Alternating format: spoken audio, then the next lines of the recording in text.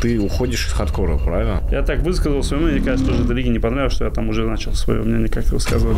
Понимаю. Смотри, объясняю сейчас еще раз. Ты понимаешь? Я уже давно ничего не понимаю. Рука такая чья-то идет, и палец в глаз засовывает. Я бы не хотел, чтобы они ко мне подходили и рядом со мной стояли. Я еще не привык к этой известности. Если Самат выиграет, ты будешь удивлен больше всех. Боксу и кулачку меня остыла эта тема. То, что я сейчас ушел, что в плане медиа я потеряю. Может, через полгода забудут. Такой кипиш был, киргизы, даги, о мое. И чё, вы меня что, побьете? Для всех ты тигр, хищник. Один косяк какой-нибудь неправильный, все. Я уже на себя весь это должен был удар принять. Такие страшные прозвища у ребят, там воин, еще что-то. А там бой, бой показывает, что он далеко не воин. Я же первый раз заехал в Таиланд. Такое ощущение было, что я из Дагестана не уезжал. Хадис из UFC попал в ППМА, а Шара из ППМА попал в UFC. Арман технично закидывал. Что смотришь? Мы двигаемся, когда он сюда уходит, и соперник сюда уходит. Друзья, мы вас приветствуем. Вы на подкасте Fight Show. Ведущий Армен Гулян. Эдуард Вартанян. И сегодня у нас в гостях э, человек, э, который больше доказывает своими боями, нежели словами. Хайбула Мусалов. Очень приятно. Спасибо, что позвали. Да, по-другому быть и не могло. Мы с тобой уже давно об этом разговаривали по поводу приглашения на подкаст. Сейчас уже, скажем, все сошлось. Много тем для обсуждений, много интересных событий вокруг тебя связанных. И я думаю, надо начать нам с самого нашумевшего, который сейчас горячего да, произошло. Мы этот, а, как говорится, гешталь закроем и уже пойдем, наверное, по более таким а, нам интересным историям, а именно связанным с тобой и с твоей профессиональной карьерой. Доктор психологии Армен Гулян. Обращайтесь. Закрывает, закрывает гештальты на подкастах. Курсы можно сделать такие, да? А, смотри, вот сейчас история по поводу того нашумевшего конфликта с хардкором. А после пресс-конференции хардкора ты записал э, в, в историю сообщение о том, что все, больше выступать на хардкоре не собираюсь.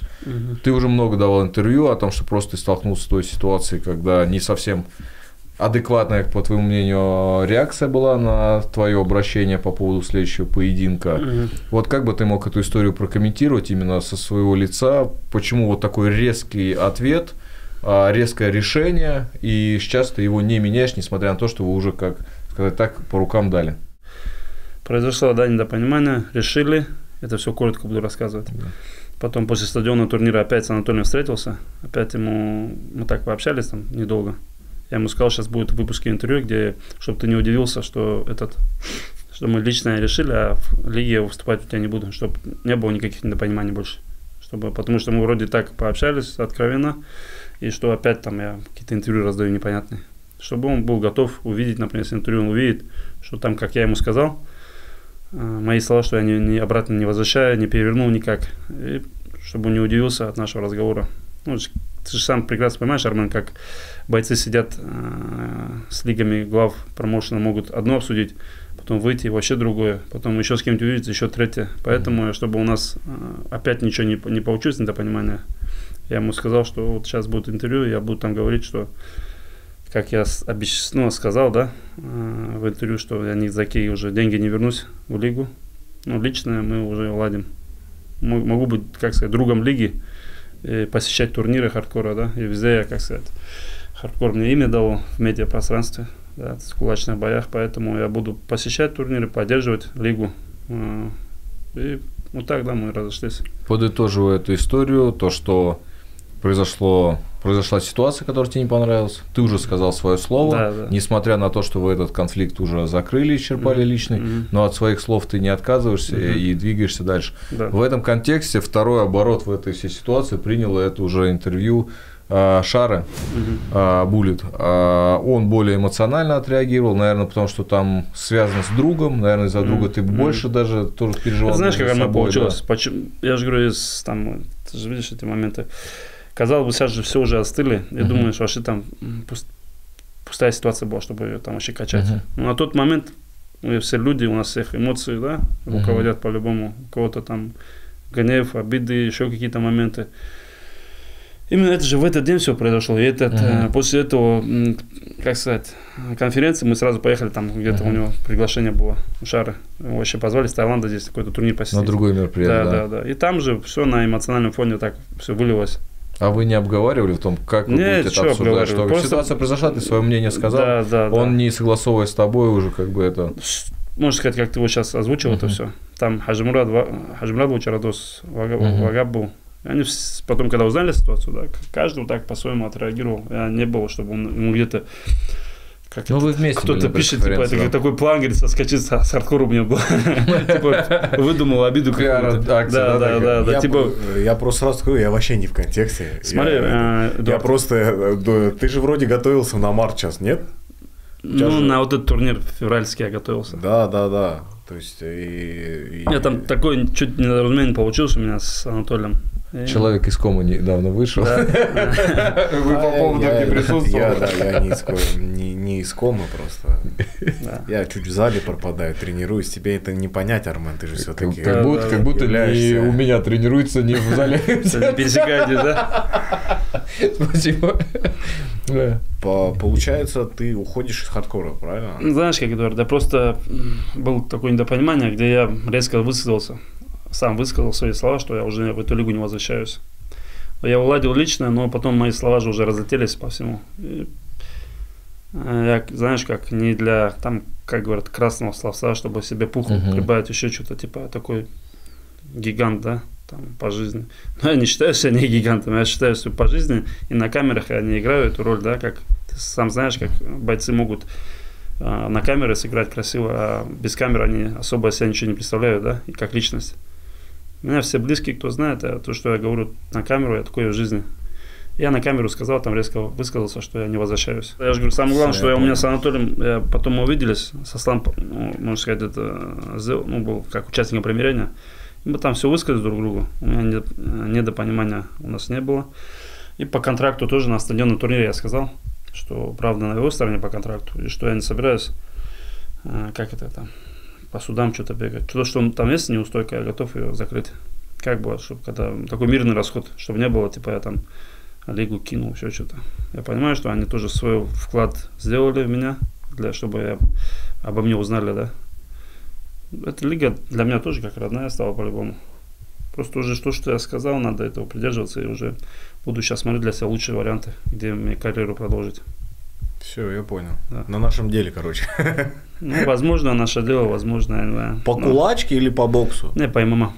А, по ММА? Да, как раз вместе сборы будем проходить.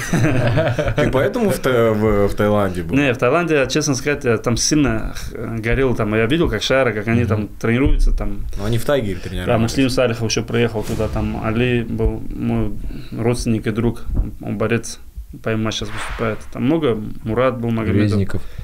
Резникова не знаю, за- заочно, лично не знаю. Ну, много бойцов там было. Чарадос, Ажимурат. Мы вместе все готовились. Я там хотел и локти, и этому учиться всему. А то, что у меня по кулачке была эта тема, я просто, как сказать, не хотел, знаешь, как за двумя зайцами бегать. Типа и это, и это изучать. Меня просто по кулачке, поэтому я чисто стойку там отрабатывал, и все. А, то есть ты как, с тайцами отрабатывал или как ты готовился? Там боксеры же тоже есть. У меня там есть видео спаррингов с австралийцем, с боксером профессиональными спарринги делал. Потом с ММАшниками делал спарринги. Ну, с ММАшниками, конечно, там Без борьбы. Бокс чисто. Вот я- там же есть же этот, а, как говорят, Там даже в Тайгере делают 10 Да. раундов в бокса. Тайгере же есть среда и пятница, кажется, вольные бои. Ты первый раз, получается, в Тайгер приехал? В Таиланд первый раз приехал, да. А, вообще, нормально начал. Начал этот, э, решил начать э, ММА-карьеру. Нет, не именно- ММА, у меня же, я же говорю, Бой а, должен был по по кулачке кулачке Не, быть. я понял, что бой, но имеется Но- в виду, что ты предполагаешь, что, ты ты по ММА. У тебя же а- нету боев по ММА? Я просто вижу, да, вот этот уровень с ММА, и поэтому все говорят, мне там 32 года, я не молодой уже, типа, что ты лезешь. А я поэтому я говорю, что я не молодой, то, что у меня сейчас горит внутри, э, боксу и кулачками остыла эта тема. Серьезно? Да, у меня, например, бокс вообще не нравится. По боксу, чтобы выступать, это надо или гонораром серьезно меня заинтересовать. По кулачке я сейчас тоже вижу только, например, думаю, если только громкие поединки проводить.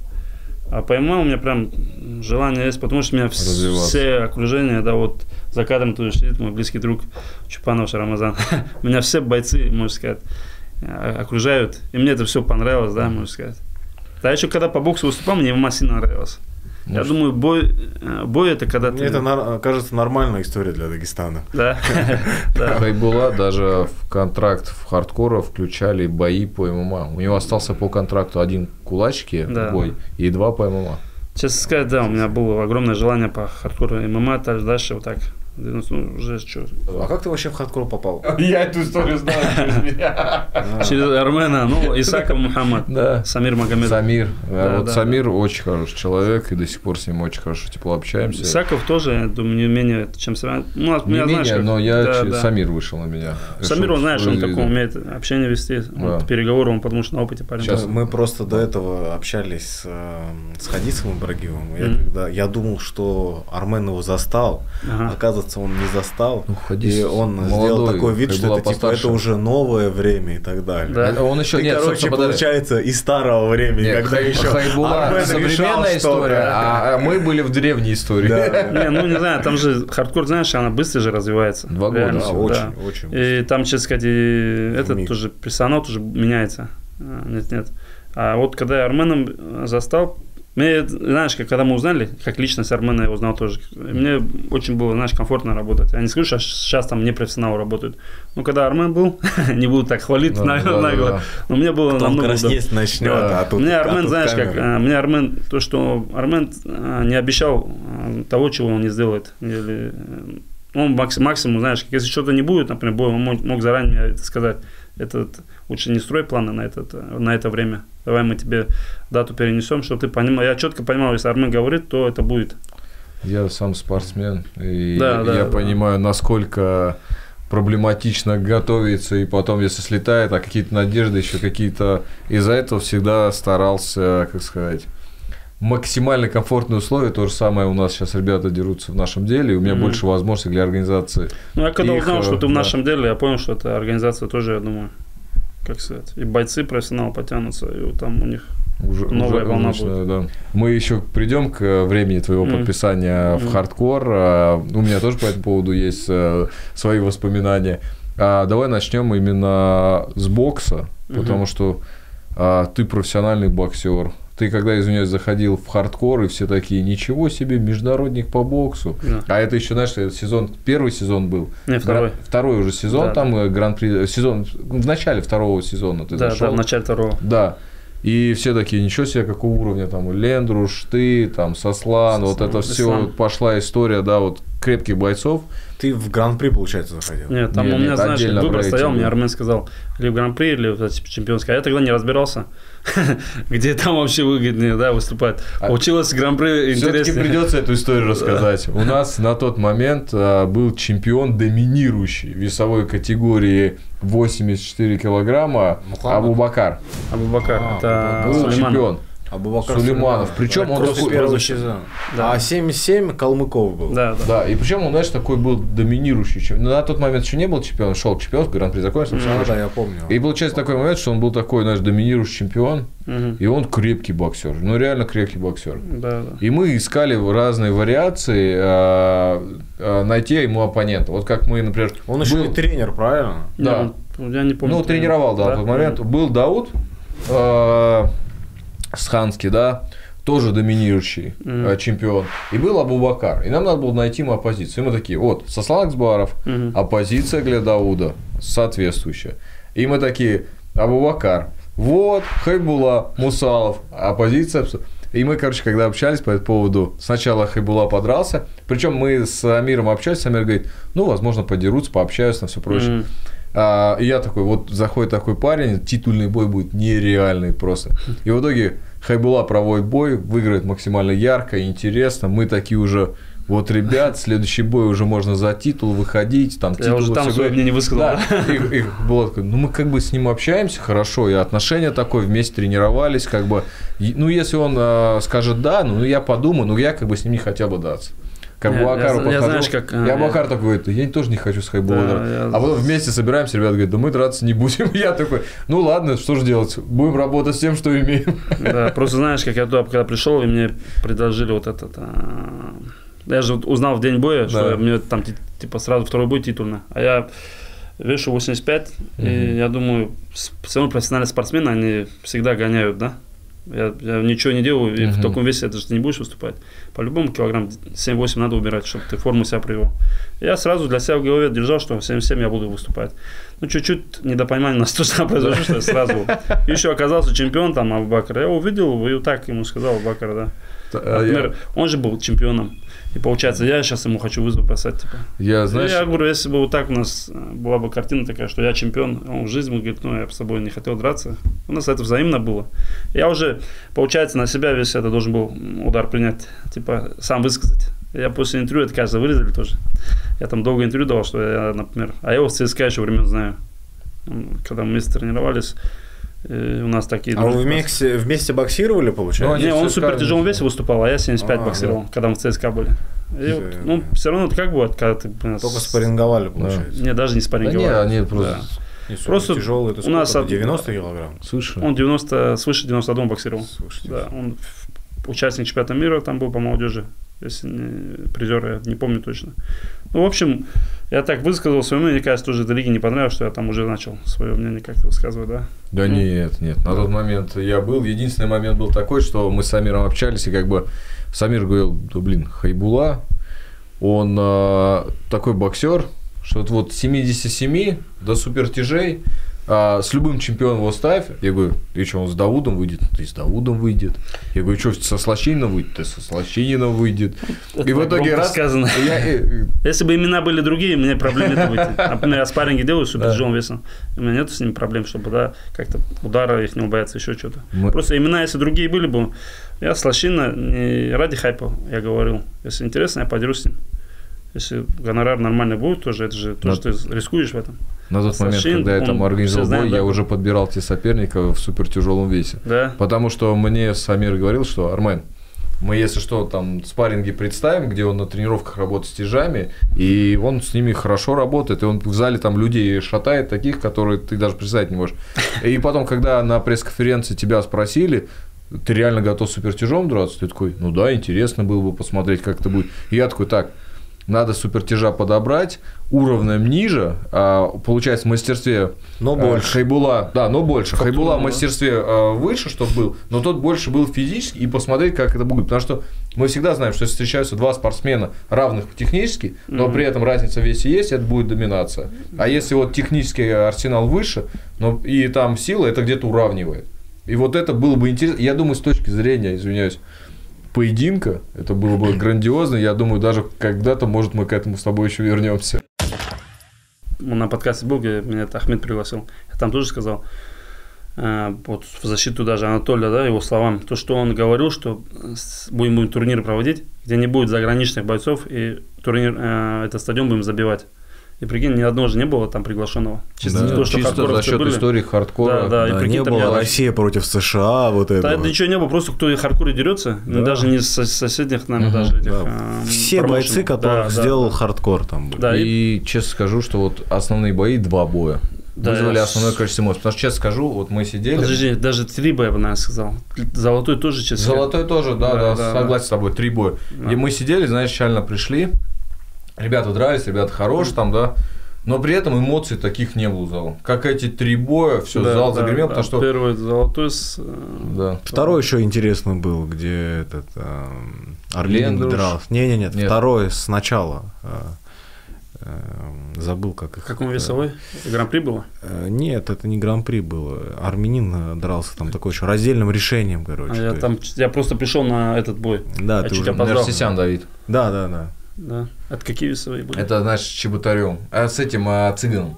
А, 65, Чеботарем 66. Андреем, да. Ну, они оба рубаки, из-за этого у них всегда Да. бои будут Тоже интересны. интересный Ну, бой был. самый мне, который понравился, конечно, это Лендруш. То, что он и пояс завоевал, и вот этот момент, свой, особенно психология, да, что он переломил. Все же думали. Да, да. Мне больше понравился Мартин. Не, ну, опять же, удивил о, о больше. вкус, не, о вкусах не спорят, конечно, тоже Да, шикарный после Лендруша лично он- для он меня, например, фаворитом, не, лично для меня, лично для меня это моя весовая была, получается.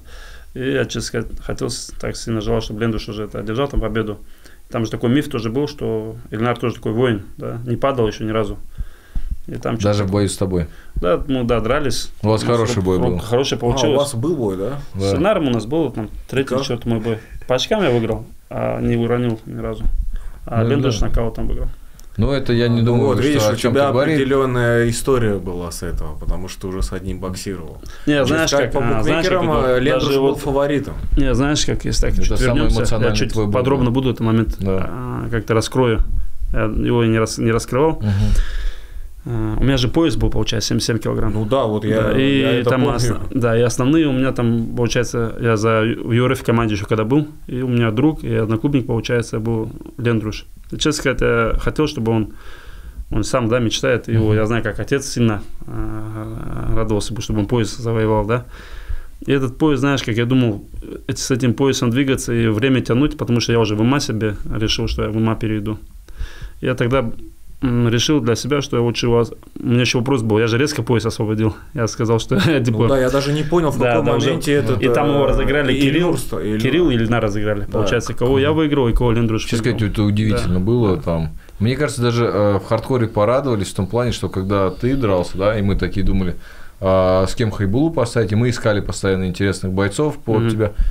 А, и, наверное, когда ты освобождал титул э, в хардкоре, они подумали, о, движение наконец-то начнется. Не, мне а просто, то- знаешь, как, а, мне матчмейкер вот Лобанов он писал. Хайбула говорит, давай сделаем твой пояс, говорит, спром мне, говорит, Хайбула, говорит, а как ты на это смотришь, чтобы локатный пояс сделать? Я говорю, я вообще говорю, я даже не так не смотрю, я говорю, я даже больше могу обрадовать, что я вообще оставляю этот пояс. А, тебе организатор предложили, чтобы не, ты не, матчмейкер пояс? мне говорит, чтобы какой-то, типа, в этом весе, типа, застой какой-то. Типа, ты там чемпионный, типа, нету там, у тебя претендентов. Типа, со всеми подрался, а там... И никто драться Да, а я ему хочет. говорю, а я им говорю, я в ИМА хочу двигаться, и давай, знаешь, как вообще я пояс освобождаю. И там Лендруш, можно сказать, шел как главный такой претендент на этот пояс. Я, честно сказать, очень сильно хотел, чтобы он пояс забрал. Дорогу И, молодым. Соответственно, не то, что дорогу молодым. Я думаю, свое по-любому сейчас сделают. Кулачки же такой вид, где ты долго не сможешь задержаться. Сейчас он этот бой проведет, ну, поздравляю его, то, что он завоевал этот пояс, его родителей, близких, потому что я его давно знаю, Лендруша. Теперь у него еще один един бой, я думаю, с Калмыком, если он его проведет. И уже себе медиа все сделает, и я не знаю, где он... Калмыков 7-7 будет? Не, 84. Хочет, 84. Лендруш хочет подняться. А, Да. Смотри, история с Калмыковым и у тебя, и у Лендруша, и у а, Хамзата. Так ты с Калмыковым уже не дрался.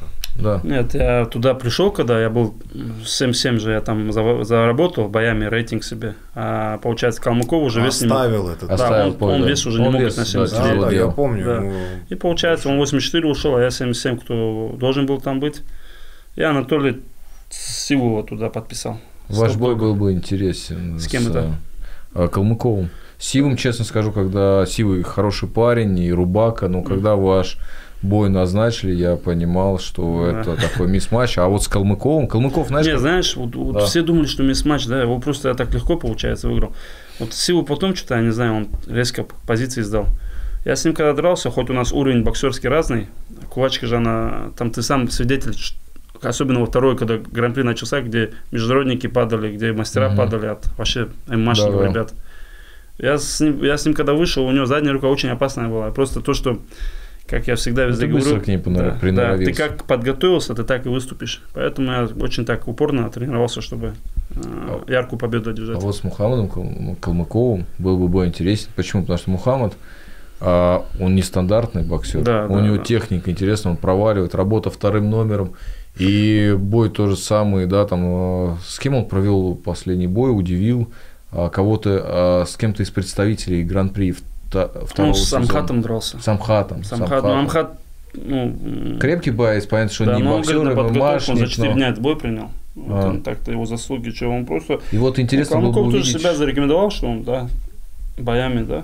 Ну вот интересно увидеть, э, например, Лендруша, тебя, потому что Мухаммад у него очень нестандартная, очень интересная Мгм. техника ведения боя. Ну, там, видишь, уже третий сезон вообще уже начался. Там тоже много голодных.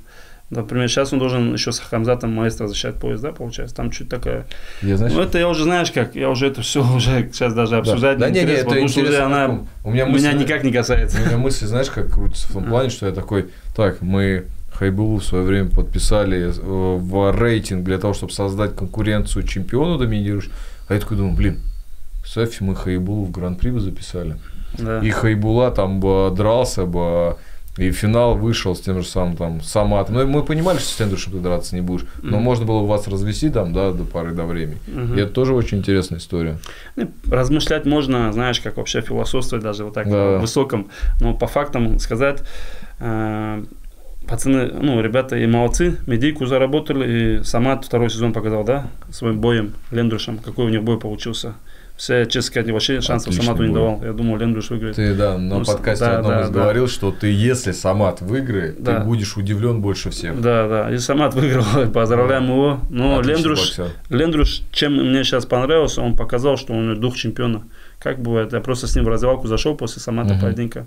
Ну, очень расстроен был, конечно. Я ему тогда тоже говорю в раздевалке, что тебе надо все это пере... ну, отпустить ситуацию, да, сейчас, которая есть. И чемпионы чем отличаются? Они возвращаются, и дальше у них, как сказать, у всех же поражения бывают Вот по-любому. Лендруш шикарный боксер, и А сейчас, человек а сейчас шикарный. видел, а еще ты сейчас не как видел, видел. сейчас видел, как он бой провел? Отлично бой провел. Сейчас А он знаешь, без эмоций, все аккуратно. Интересно было бы посмотреть Лендруша в четвертом-пятом раунде. Потому что Я тебе это будет оцениваться. Не, да, я тебе знаю, что раунде- скажу. Я тебе знаю, что скажу. Я же в углу был, когда Да. дрался. Я просто видел, что у него с дыханием все в И не порядке. спешил, и спокойно. Он, и не, вот, опять-таки, да, тренерский штаб Игорь Кокоев, они очень плану придерживались, и вот так с холодной головой он дрался, не эмоций, не бросался. Он, вот, молодой- я думаю, четвертый, пятый раунд ему не составил бы труда. Я ему и говорил, все же тебя как-то дергают за этот момент, что тебя, типа, ты подарок там после второго раунда для всех. Я говорю, проведи пять раундов, и ты Я знал, что ты специально так скажешь. Да, я говорю, закрой рты хейтерам, я говорю, зачем на это надо заряжаться? Я говорю, просто ты из 5 раундов проведешь, все думают, вот, ну, опять, как сказать, и людей мнение не нужно прям, знаешь, Мгм. принимать. Поэтому всегда, что бы ты ни делал, а, найдутся, кто тебя будет а, как-то м, оскорблять, еще что-то, а кто-то будет тебя восхищаться тобой. Вот сейчас для всех ты тигр, хищник. Мгм. Один косяк какой-нибудь неправильный, все, ты так, бля, там, вот же он маску снял. Коронка, бля. Там, честно сказать, вообще интересно. И вот тем самым, вот помнишь, мы сейчас про Самата сказали, что Самат удивил. Ну, Мгм. давай будем честными, Мартин Саматом Да. удивил Не, ну, меньше. не, этот поединок, я Он ж- вообще жуткий андердог был, Мартин. Там 4,3 у него был кайф. учитывая, как э, Лендруш, э, Лендруш, учитывая, как Самат провел гран-при, сейчас он м, потом финальный вот этот бой, да, на стадионе, который, Мгм. бля, Мартин, конечно, молодец, он Просто знаешь, я в этом бою что увидел, что Самат, получается, первым номером, что ли, плохо, или он слишком чуть-чуть Мне уверенность кажется, такой. да, Уверенно, он пере- ранее как, был как уверен. Лендруш был пере- уверен, наверное, Да, с ним. кулаки, они же, видишь, не прощают, там любое касание в челюсть. И... Ну, я, мне кажется, знаешь, как, э, ну, дали ничью сейчас. Я думаю, реванш еще больше теперь ажиотажа будет вокруг этого боя. Теперь еще один стадион соберут. Ну, знаешь, я еще что бы добавил сюда. Уйду я, уйдет Мартин, уйдет все. Я просто вижу, что, знаешь, как, я же говорю, поэтому я буду всегда за хардкор топить. как бы меня там они, знаешь, любили или не любили. Она как в UFC постепенно превращается, да? От боец, боец уходит, она ничем не теряет, либо приходят новые бойцы, которые... Вот сейчас третий сезон сколько ярких бойцов раскрыло. Я думаю, то, что я сейчас ушел, это прекрасно понимаю, что в плане медиа я потеряю. Там я даже сказал, может, через полгода забудут, вообще поединки проводил или нет. Да, нет. Но для меня это, знаешь, как спорт для меня это вообще бля, не на первом плане, чтобы... а, Вот. Ну, сильно Да. у тебя вообще медийка по... С получается, да, полтора года, да, ты? Да, полтора года. Чтобы ты понимал, Эдик, например, э, я до хардкора, меня вот боксеры, может, ребята знали, что же я выступал на каком-то уровне. И больше вообще ни на ком... Нигде меня не знали, да, что я там Ну, ты боец по- такой. появлялся Хайбулам Салов, говорили, этот мастер спорта международного класса по боксу, такие, а, Да. мастер спорта международного класса по боксу. Да. Но не Хайбулам Усалов, и потом там... да, да, да. А- И прозвище мне говорит хищник. И хищник, я знаешь, как это мне, как бывает, говорит, помнишь, мы даже мы с тобой, а какое у него Да. прозвище, говорит, будет. Я говорю, а что, его придумывать, что ли, надо, это прозвище? Я говорю, как тебя называют там на сборах в зале, да, где бойцы так, я говорю, скажем. И это, ну, так сказали, да. Помнишь, когда подписание было? Но это Я тогда удивился, было, что, да. типа сценарий, что ли, какой-то, а, а какой, говорит, придумаем прозвище? Я думаю, что за придумаем? Да здесь, знаешь, как э, получалось так, что заходит человек яркий, интересный, да, все Ага. прочее. И здесь э, еще момент такой есть, ну, будем честными. А, люди э, больше запоминают какие-то символы, нежели имена изначально. Ну да. И там выходит какой-то там Эдуард Вартанян «Львиное сердце». Э, У этот, э, ситуация была, когда у Эдика после боя с э, А Раиса, он там, понятное дело, эмоции, все. И Хасиф, например, не сразу Эдуард вспомнил, вспомнил «Львиное сердце». И он говорит, «Львиное сердце» поступил хорошо, говорит, но есть правила, типа. Ну, видишь, зарекомендовал вот, да. боями этот прозвище, да, тоже надо оправдывать, когда ты Конечно. И, а если несоответствие, у тебя прозвище бегемот, а ты легковес? Просто, просто, ты, просто ты же, ты же видел, нет, ты же видел это поединки, да, даже тоже тоже лиги у нас такие страшные прозвища у ребят, там воин, еще что-то. Там. А там бой, бой показывает, что он далеко не воин. После первого касания, типа там угловой, давай быстрее снимай, типа, если показывает. По никнеймам мне больше всего Жинкин Лев нравится. Женьки, Ле. И у Анатолия Малыхина сладкий. Малыхина сладкий? Шуга получается? Сладкий, да. Он выходит, а, он чемпион в NFC в супер тяжелом весе и в Я, тяжелом весе. в Таиланде и у него сейчас, сладкий я сейчас мы в. Таиланде с ним пересеклись, вот так живу видеть. Он очень такой, знаешь, Позитивный, очень позитивный человек, да. Мы с ним в одной команде Golden Team были, в Мытищах проживали, вместе там в столовую питались. Такой очень, позитивный парень. Зал Добрыни открыл в Таиланде, так что в Таиланд полечу, там в Добрыне тренироваться буду. В Таиланде зал Добрыни. Ты серьезно? Серьезно. Он зал открыл. Но его не хватает в Таиланде, такого зала. Да, да, Не хватает зала хищник. Да. Зал хищник, может, возможно. Тагер, Окей, Пхукет, типа Добрыня. Ты Ну, мне знаешь, что в Таиланде Да. что-то не понравилось. Я не знаю, не в обиду тайландцам. Что-то гигиена у них хромает сильно там. Ты же знаешь, да, эти моменты. Ну, смотря, это знаешь, как у нас э, там же есть Тони ресторан, вот, ну, кафе, Да, вот, да, у да. Тони. Да, вот. И там, знаешь, там ребята все питаются, и мы там кушали, все классно, и нам ребята бойцы говорят, типа, здесь все классно, Много острого перца и все нормально. здесь все классно, шикарно, говорит, но главное на кухню не заходите. Да, Если да, на кухню да. зайдете, больше там есть не будете. А вот ты сейчас сказал, я, я к еде вообще не привереду, ну, к гигиене, к чистоте у меня вообще какой-то бывает. Это, так, клин, если увижу, там, знаешь, как стакан дают, который не помыли, который видишь там.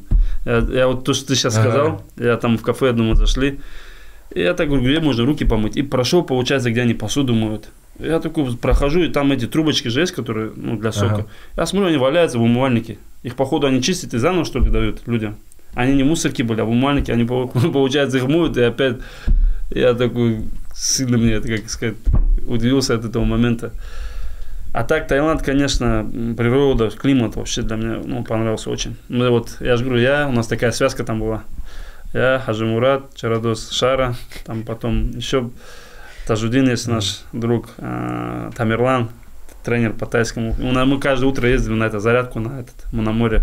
Где мы когда в Таиланд полетели, это Да. был 16-17 год, э, ну, 17 уже. М.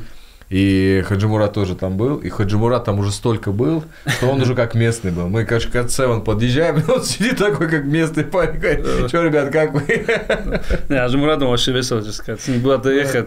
Он душа компании. Там, честно сказать, у нас такой этот... Я же первый раз заехал в Таиланд. Ну, блин, такое ощущение было, что я с Дагестана не уезжал. Там все. наши были. Тарки, все дела. Будда это тарки это Будда, да, да. Тарки это Будда, чисто туда. Че в субботу туда. И вот это на кольце парилка. Ее забил. Ну, Шара как раз звонит. Шара, ты что, в Дагестане уехал, да, брат? Не доехал. Приветствую. Жарик Шар, тоже с Хайбулой приходи на подкаст. Он говорит, да, да, Армен. Говорит, говорит, я, говорит, я, короче, этот, э, семью давно не видел, Армен, мне надо поехать, все. Не, ну него на самом деле, честно сказать, ему есть Бывает, оправдание. бывает, не, все бывает. Не, ему есть оп- А, На стол запрыгни, да, как жали. не, не, брат, это, это не по мне, брат. Эдик там на стойку ставь, да нормально хайпанет. Не, у нас так чисто. дырка посередине, скорее э, пропадает. У нас здесь разговор. А, Русь. Не, у нас здесь все цивильно. Да. Да. Че вы? Где? Наберемся, да, у нас здесь подкаст все-таки. Давай, связь. Смотри, этот, Вот. Шара, как и этот, в твою историю вошел с Он что-то хардкором, всегда- так и в подкаст наш ворвался. У меня интервью где он тоже туда ворвался. Да, да, да. Да, Шара, знаешь как, он, чем мне нравится Шара, мы относи- относительно недавно Ну. познакомились, но он очень такой, он искренний парень. У него нету наигранности какой-то, есть там дружес- дружеская Да, да, наигранность. прямой. Он не то, что может быть, он намного, может, не такой прямой, как я. Он очень умный сам по-своему, да. И этот, как сказать, и все вот эти моменты, то, что произошли, это то, что искренне произошло. Да, да, я же говорю, очень много знаю, чего. Я-то уже начал к этому как-то относиться, что Мгм. сколько людей, столько и мнений, там, сколько миллионов в России, да, у нас и столько мнений у людей. Когда начали эту ситуацию кубатурить, это план какой-то из, из мухи слона раздул. То, что уход мой, то, что хипишь, типа хайпанули. А просто где-то, где-то ты видишь, ты комментарии читаешь или как это? не, честно сказать, э, этих буду честен, я в Ютубе когда захожу, первый, ну не все, конечно, там тысячи А, комментариев, вот первый, может 10, 8 вот эти, которые же есть, их, Да, может, откроешь так. Ну, я их тоже читаю, я даже да, отвечаю. Да, и там, э, знаешь, как так бывает. Слева аккаунта, правда. Да, да, не, бывает, бывает интересно и так, чисто так интересно бывает почитать. Поэтому никто не хайповал то, что произошло, это произошло, да так, как э, спонтанно все, да, как жизнь, короче. Смотри, ну у нас получается такая история, что а, Шара а, из поп ММА пришел в UFC. В свое время же Шара был Наш, ударником а, базовым, да, там кикер, он тается. Кикер тается. И он ММА Я не помню занимался. Шара, когда дрался по ММА в клубе Единый Борс номер один и проиграл этому Турсунбеку. А это был профессиональный бой или любительский? Ну, Когда это это было? получается такое... я даже не помню, профессиональный это любитель. Это, ну, знаешь, Скорее всего, любительского у него же профессионально нет поражений. Да, да, нету, Да. нету. И Ну, это вот- он набирался опыта, наверное, в Там да? такое, там потом такой кипиш был, киргизы даги, о моё, это что, Была там драка. драка. была массовая. Ну, видишь, да. оба эмоциональный народ такой, наверное. Видишь, Да, это да, еще да. до создания поп ММА не делали Это поп до, ММА. да, вообще, это, это, не знаю, 2013. Чья организация была? 2000. Это Это клуб номер один. набор, знаешь, вот в клубах проводится, получается. А, ну то, что в Ютубе, да, так снимают, спарринги там всякие, да? Это не спарринг, это как бы турнир я понял, знаешь. к чему ты говоришь. Я имею в виду, сейчас же так тоже хайповая тема. Не то, что там на каких-то аренах, а просто спортзалах именитые Самое бойцы забавное, спарринги что- проводят и Самое снимают это. забавное, что тут даже спаррингов не было, никто не снимал. Да? То есть это просто как бы турнир такой, который проходит там Evolve Cup, ну знаешь, такие такие турниры, которые С судьями? Да, судьями. Ну, не Ну, наверное, это любительский турнир, потому что Да, это мне, любительский насколько турнир. так Шара говорит, ему профессиональный рекорд, там, я не знаю, почему-то Шердок убрал у него три или четыре боя, у него вообще Ну, рекорд должен быть. У него, посмотри, там получается так, что он а, начал двигаться более так профессионально в ММА, это через гран-при нашего дела, которое только было. И мне нравится, что Шара говорит, что говорит, я сейчас говорю, захожу в UFC, говорит, меня фаворитом уже видят, обсуждают меня с топами бои, говорит. Когда я заходил, говорит, в гран-при нашего дела, говорит, Шансы меня не даже не- шансов не давали, говорит, меня не рассматривали как фаворита. Уровень нашего дела? И он говорит, типа, вот сейчас пришел именно в UFC, всё прочее. и получается, что э, шутка еще была Хадис только что был, что Хадис из UFC попал в ППМА, а Шара из э, Хадис. попал в UFC, да, обратка такая. И он от А ударника он на М1 перерос... не дрался, Что? Шара. Не-не. Не, нет. И он, получается, из Китае ударника перерос в серьезного профессионала по ММА. Ты ее также видишь, да, в течение короткого времени, там, два года также этих Не, ну знаешь как, я, я реалист, и всему отчет сейчас я буду отдавать. Я планирую, вот какой бы организации не был, например, э, как Наше дело. Возможно, да, возможно. Сразу позакинул. Сразу обозначает, да? Я с какой бы организацией ни- я сейчас не двинулся бы, я по-любому думаю с организаторами встречаться. И я почему сейчас думаю, как чуть-чуть, если организация пойдет навстречу, на своих условиях что-то выдвигать. Я уверен в себе, что я могу яркие бои проводить. Ну, также я реалист, я даю отчет, что если меня сейчас хорошей машинкой поставить, ну, там шансов не будет, да, у меня. Но если постепенно это все набрать, а я готов трудиться. Если бы я как-то был бы связан с матчмейкерском и организацией боев, Мгм. если подписал бы такого бойца, как Хайбула Мусалова, смысла мне его ставить против вольника никакого нет. Мне интересно было увидеть его рост именно в этой специфике с равными оппонентами а, для конечно. дальнейшего развития и уже когда он созреет выведение его на титульную историю. Армен технично закидывал. Если бы я был бы как-то Если бы. Ну, Но я связан, ведущий подкаст, вам остается рассуждать по этому. Наш подкаст называется закинул. Fight Show, подписывайтесь. Поэтому, знаешь, а, к чему вот к- даже я к чему эту мысль всю вел, то, что если даже я там ничего не достигну в этом ММА, да, я же говорю, я боями там заработок у меня не от боев таких, прям основной заработок. Просто то, что мне нравится, хотя бы сделаю под конец карьеры. Хадиса именно а, карьеры любительской не было такой большой. И он вот именно для него трепета по поводу там какого-то продвижения спортивного, вызов нет. Для него это чисто источник доходов, Мгм. а ты рассуждаешь так, что тебе просто это интересно, а Мгм. финансово это уже на втором Да, плане. да. И вот ты говоришь, бокс уже не так интересен, кулачка уже не так интересно. Мгм. А по факту хардкор Кулачка это вторая организация в мире, получается, да, там. И как бы там, ну, уже достиг ты конкуренции, там, кто, кого противопоставить э, тебе сейчас на данный момент. И вот есть история ММА, в которую ты только заходишь, это знаешь, как будто ты повышаешь уровень сложности, Да. и это тебя заинтриговывает. Не, я же говорю, мне это очень интересно. Я же, меня все бойцы окружают, и мне очень интересно себя попробовать на профессиональном уровне. С- может быть, со временем, там, не знаю, со звездами ММА, которые есть за границей, здесь, в России. Просто себя потом уже проверить. Я просто в залах бывал, даже на, на Дагестане залах. Я там в стойке чувствовал себя неплохо, с хорошими бойцами ММА.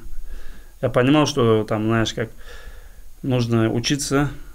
Ну, когда, как говорят, Ну, ну, знаменитая... ты боролся или как? Или Я вообще с борьбы, честно сказать, начинал свою спортивную карьеру. Хотел борцом, честно сказать, стать. Сильно. У меня, когда в каком еще... возрасте сколько ты занимался борьбой? Сейчас я тебе расскажу чуть Да. подробно. Я, Да. Например, в Казахстане я же вырос. 10 лет Мгм. в Казахстане прожил я в детстве. Где? А, вообще в село Раздольное называется. Это вообще глубинка там в Казахстане. Это От города. где? Казахстан. Не, где конкретно? Где конкретно? Кустанай, ближайший город. Да, я знаю, где А, Кустанай. да? Да, конечно. А, Он же тоже наполовину казах. А, да? а где ты жил? Ну, Петропавловск, Не, я, получается... Питер, там. да. Это рядом области Да, Кустанайск. Я в Кустанай, и рядом вот село Раздольное. Я не помню точно. Это на север, получается? Получается север, да, север. Это в Потому что сторону Тимирязева туда, короче, Тимирязевского района, да? Вот этот момент, я, видишь, давно не был в Казахстане, и вот у меня в планах посетить Казахстан, где село, где я прожил, например, вот это детство. Я к чему говорю, что у нас в нашем, например, это село Раздольное, там не было никаких секций. Э, Хоть Казахстан славится видом, ну, с разным видом спорта. Там не было ни борьбы, ни бокса, ничего не было. Я, получается, там до седьмого класса как прожил и приехал в Дагестан. Когда в Дагестан приехал, мне было уже 14 лет. Я думал, уже запишусь на борьбу, буду двигаться. И мне родственник сказал, что ты пока там Дагестан по борьбе выиграешь, там лет 10 пройдет. типа ты опоздал на борьбу. А у меня старший брат на бокс ходил. Я думаю, тогда бокс. Получается, за полгода занятия меня Дагестан выиграл. Ну, тогда. А, 14 лет? да, по юношам Дагестан я выиграл. 15 лет я на бокс пошел, 14 лет еще не пошел. Например, я себе цель поставил, знаешь, как не было цель вообще Мгм. по боксу там достичь успехов. Просто я хотел брата обогнать старшего. Он за 7 или 6 месяцев занятия боксом выиграл по юношам Дагестан. я, Ничего получается, себе. за 4 месяца. У вас сколько братьев просто? У меня три брата старших. Три брата, и все Дагестан по-любому взяли. Не-не, у меня вот получается вот Махмуд только спортсмен, и, и Муслим так занимался для себя. Остальной Марат, он так по строительству бизнеса. А борьбой ты где занимался? В силу, в силу, я же говорю, занимался, вот с детства мне нравилась борьба. Как, я не скажу, что занимался, я приехал в Дагестан и там ходил полгода на борьбу. Я же хотел дальше борьбой двигаться. Секции посещал там борьбы. Даже боролся на районе. Третьим стал. Знаешь, как третий стал? Одну схватку выиграл, другую я на туше положил. Короче, да, такая интересная история. То есть с борьбой у меня нет такого, знаешь, чтобы сейчас меня какой-нибудь с улицы парень перевел, это ему труда будет, ну, надо Я видел твою схватку с Кимчи. Влад, приветствую. Не, с Кимчи у нас, честно сказать, э, вот сейчас с Кимчи такой, я не думаю, что он в кадр попадет. Я там в чистой одежде был. Как бывает, я не хотел там вообще бороться. И Там там, вообще запрыгнул на тебя. не, не, да я там чуть дойдел. И там, знаешь, как неуклюжая борьба получилась. за- Просто запачкать не хотел с ним. Э. И мы там что-то на полу еще были. Что-то такая, знаешь, как даже нарезку не было это ему ставить вообще. Я не помню, к чему Да, давно его поставил. Ну, наверное, показалось, что вот с Хайбулой боремся. Да, там Влад же борьбой занимался в свое время. Да, он мне рассказал, что он грэплер там. Я даже не знал, что он грэплер. Просто Он еще и кулачник. У нас же весовая разная, да. У него подкасты интересные у Кимчи, этот, он хороший журналист. Когда любой турнир проходит, он обзор делает такой, знаешь, как непред- непредвзятый. Несмотря на все ограничения, мы стараемся выпускаться на всех цифровых площадках, поэтому слушайте наш подкаст на всех аудиоплатформах. Помимо нашего YouTube-канала, не забывайте подписываться на наши социальные сети как в Инстаграме, так и в Телеграме. Все ссылки в описании. Поэтому у меня всегда вот это в голове тоже было, когда выступал, что э, досудить, доводить это вообще. Я раньше, знаешь, как у меня даже не было, по идее, когда по любителям боксировал, я в конце, может, карьеры уже понимал, что какую-то тактику надо. У меня вообще не было в голове, что соперник должен три раунда продержаться. Я думал, надо его вырубать. У тебя стиль бокса такой, что Да. ты всегда идешь плотно на соперника. Ну да, По- максимальный урон хочу сразу нанести, не откладывать это как-то долгий ящик. И ну, я же говорю, у меня первое время, я, для меня удивительно было, что он должен типа три раунда будет пройти. Я думал, что... типа, Зачем? Да, до судейства доводить, это такая тема, знаешь, как. Смотри, А когда руку поднимает, вот мне еще старший, знаешь, что перебиваю, мне еще братья говорили там, если бой заканчивается, только не исполняй после боя. Типа там, э, там, что за суета, там, всякое же может быть. да-да. И я всегда вот в голове держу, если бой заканчивается, сейчас, если вдруг мне руку не боюсь, чтобы я там не исполнял, потом не ходил, никого, ну, не обвинял в этом. У те- У тебя единственное эмоционально, которое ты реагировал в бою, это с Ишимбаевым, когда ты ему факи показал. А, это такая история. И с Ишимбаем, вот по боксу бой у меня был с м, Мазуром, да? Там по тоже- боксу было бы не видно. Не, по боксу, я по, не, по боксу не факи был, а там я после стопа бил, там Ага, были моменты. ага. Тоже, да, это, это бой. А с, м- это, Ильнаром, Ильнаром, честно сказать, благ не было, ему вот так показать факт. Он просто мне, знаешь как, в бою мы когда уже дрались, он мне вот так показал, типа, иди сюда. Я сказал, не пойду, типа. А, ты а, а Капа во рту была сказать, не мог бы уйдет, а Да, я, я, типа, я, я, типа, я, типа, я типа сказал, ну, жестами, типа, не пойду, короче. И так получилось, что я, типа, я, типа, там везде хорошего себя строю, а да. типа, я там... Ну, это бой, я же его никак... Да. Я его никак, там, его честь... Достойно. боксерский перчаткой бы показал. И, в бою мне нравится, честно сказать, общаться. В бою я общаюсь с соперниками. Когда успеваешь? Тебя вроде быстро Ну, заканчивается. я там, знаешь как, не, бывает же там бои. Например, я даже там... Я знаю одного, кто общался, это Гудан Энрике Гагохи. Мгм. Вот он любит тоже. Ну, раскрою секреты, ничего не задеваю там в бою. Именно по бою там не говорю, ты черт, еще что-то там. Ты говорил, что по боксу ты плотную работу, много ударов на себя принимал, отдавал. А в чем тебе пришлось перестроиться под кулачку? Вот именно, да, я знаешь, вот именно после боя с Ленаром я начал готовиться к бою. Раньше, знаешь, как я на кулачке выходил? Я тоже думал, как можно на кулаках больше двух минут, типа. Это типа в натуре драка обычно. Что ты на улице дерешься. Я думал, как можно на улице две минуты двигаться. я, я после Ленара, когда три раунда прошли, мы, я, я тоже отдышал чуть-чуть в конце. Я понял, что реально вот тогда начал сборы профессионально проводить. И для кулачки я себе свой график выстроил, что мне месяц хватает на подготовку. Две недели в горах и две недели на равнине, там спарринги подвести. И в кулачке не нужно ждать. Я когда вижу, пацаны там даже бой стену делают, такой, знаешь, как красиво, так Мгм. уходят. Типа, я думаю, зачем эту ну, шляпу исполнять? Надо максимально держать вот здесь кулаки, где его лицо, и быстрее все сделать, не двигаться в плане бокса. А если как боксер двигаешь кулачки, я, честно сказать, я считаю, это высший пилотаж. То, что вот сейчас, например, Сослан Как показывает. Самат, да? Са- Самат, например, Сослан, они же показывают. Ну, мне больше Сослан нравится, знаешь, чем то, что он и в боксе, например, мне с, бокс, с кулачки на бокс тяжело было перестроиться. Мгм. Я, можно сказать, не... А, например, СОС провел по боксу бой, и через две недели по кулачкам пояс защищал. И знаешь, как и рисково тоже бой был. ну. Ну, Сослан вообще этот маэстро, скажем так, э, на руках, Не, он- бокс, он- Кудряшов, он- он насколько четко да. себя показал. Он смог, знаешь, как, он именно для меня, он как-то стереотип, стереотип сломал, что надо долгое время пе- перестроиться. Он и там, и там себя неплохо чувствует. И в чем э, он это объясняет? Чем? Я не Может, он просто свой стиль не менял? Да, он свой стиль не меняет, у него же реально Кобра его зовут, у него такие Да. выпады будут резкие, как Кобра кусает и уходит на дистанцию. какой, как он подлавливает это Да, вообще. да, Как, ты как с Кудряшовым? С Кудряшовым. С Он, Кудряшовым, да. он когда с Кудряшовым дрался, я вспомнил бой Усика, короче. С кем он боксировал Усик? Усик э, в С- последнем бою, когда он титул С- забрал. да, да, с, э, да, Джошуа. Джошу, Джошу. Вот то же самое, он, знаешь, как переигрывал, переигрывал, переигрывал. И то же самое с Кудряшовым. Кудряшову там такое ощущение, что было, знаешь, как бой идет, и такой, сейчас Кудряшов попадет, сейчас Мгм. Кудряшов. Не, ну а знаешь, итоге как- он и ничего не Знаешь, дал. как Сослан с Кудряшовым же все думали, если он встанет, он ударит. Ну, в том числе я так думал, честно сказать, не буду там отрицать. Мгм. А он же уже и встал, начал принимать это его тяжелые Да. удары. Ну, уже, Когда видишь, он к после нему второго. подал, После да, второго когда раунда. подсел, да, это тогда. ключевой фактор. Да, ну не сразу, да. У Это Димы мышление, был. А к тому- Дима классный боксер. А вернемся к тому, что разница бокса и кулачки, там огромная разница, я думаю, по-любому. А, Не как каждый минимум сможет не надо принимать на себя удары. на себя принимать удары, это вообще, знаешь, как. Ну, знаешь, а, подготовку тоже надо правильно проходить. Я вижу, пацаны некоторые подготовку делают как к боксу. А я, например, в своей подготовке, я себя программирую это, когда еще по кулачке выступал, что это же ты голым кулаком бьешь. Я, например, после тренировки свободно говорю ребятам, чтобы они меня били сильно по коже, например, по телу. Мгм. Легко там накидываешь. Чтобы сейчас кому-нибудь ударить, ты же отсушишь, отс- а- а, как говорят, отсушишь, да? Болеть будет рука. Тебе с Эдиком надо этот А я вот- а я вот-. Да, я вот так, знаешь, делать. как я вот так э, себя запрограммирую, что надо эти удары принимать, и это тело ты свое набиваешь. И даже вот эти пятнашки, есть же боксерские пятнашки, Мгм. вот так, раз, Мгм. вот здесь, там. Более плотно. Да, у меня, я даже вот в Таилан- Таиланде, вот Шара, я, Хажимурат, там есть кто по утрам зарядки делали, мы по утрам делали плечи пи- руками, а корпус Ага. ты должен засаживать кулаком. Это такой Ну да, это нормально. это бой.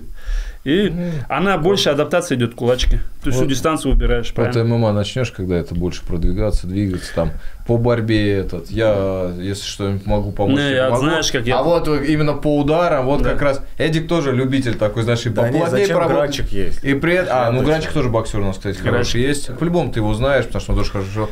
И у Эдика тоже есть такой, он сидит рядом, это ж знаешь, в один как- момент раз пробивает. Так Да. что... Не, это знаешь, как меняться, обмениться опытом, это вообще, я думаю, я, ш- я считаю, что спортсмен, э, вот мое мышление, да, в этом, что он должен чаще проводить там совместные тренировки, сборы с бойцами, там, уровня, да, повыше, чтобы ты я думаю, даже боксеры, где они набирают? В основном на сборах, когда вот, Мгм. я думаю, и бойцы, да, когда ты начинаешь, уровень, да, расти и смотреть свой уровень, ты там с первыми номерами. И когда меня первый раз в сборную пригласили, Мгм. и там я сперва думал, блин, эти по телеку и смотрел своих соперников всех, думал, мне еще там надо подготовиться. А потом, когда с ними уже в ринге оказывался, и с ними спарринги проводил, и нелегкие, я Мгм. понимал, что я, это, скажем, это не, не- где-то не, как сказать, недосягаемый нет такой темы. И просто- Много таких вещей, которые да, ты сборы, где-то подмечал, кого-то перебирал. Сборы, я считаю, это рост спортсмена обязательно. Если у тебя есть финансовая, если ты там не сборная, то постарайся эти финансы найти где-то, да, и посетить сборы по-любому. Ты так быстро вырастешь. Часто вопросы бывают, как а, добиться успеха, типа, быстро Мгм. спортсмену.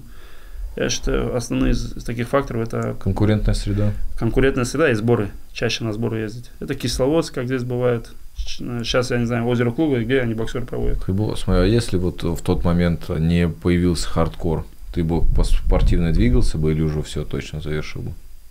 А я хотел в ММА же перейти.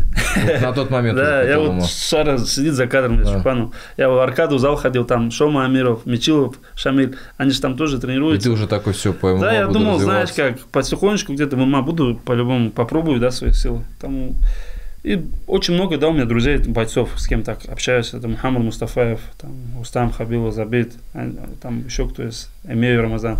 Очень, знаешь, как, я думаю, они бы мне посоветовали, помогли бы О, тоже. Тут такая интрига начинается, знаешь, если в кулачке Хайбула с кем-то дерется и уже сразу андердог, то Хайбула в ММА прямо интерес вызовет такой большой, типа, а как он здесь себя появится? а Не, я знаешь, как я делать? уже так настраиваю, что там вызовы будут а, такие тоже, бля, кто хочет, типа, говорит, что я на хайпе. А я до сих пор, знаешь, как, ну, близкие-то знают мою, мою- психологию. Я, даже, я еще не привык к этой известности. Кто-то на меня начинает смотреть, я иногда тоже могу чуть заморосить. Непонятно.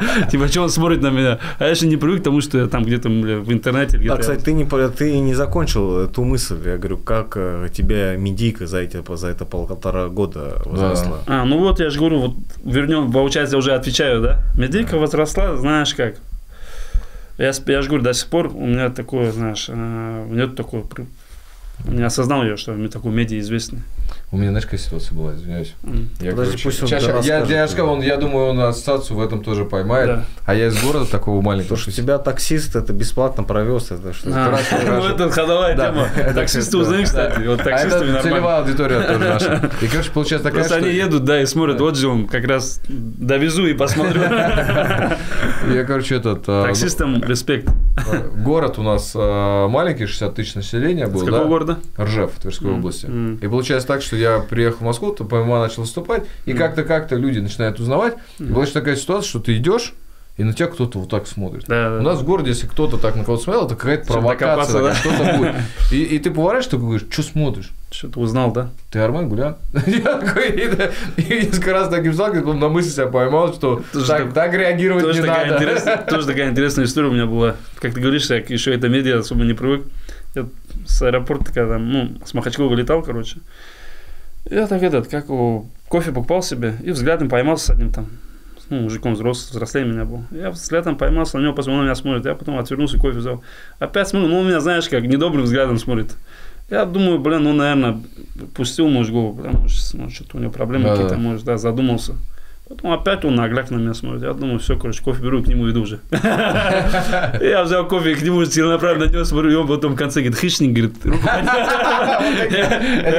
Я такой уже не знаю, я уже настроился, много чего в голове, о чем мне, зачем смотрит так нагло, ну, у него что-то, знаешь как. Я потом себе постепенно начал, знаешь как, если кто-то что-то хочет тебе докопаться, пусть выскажется, да.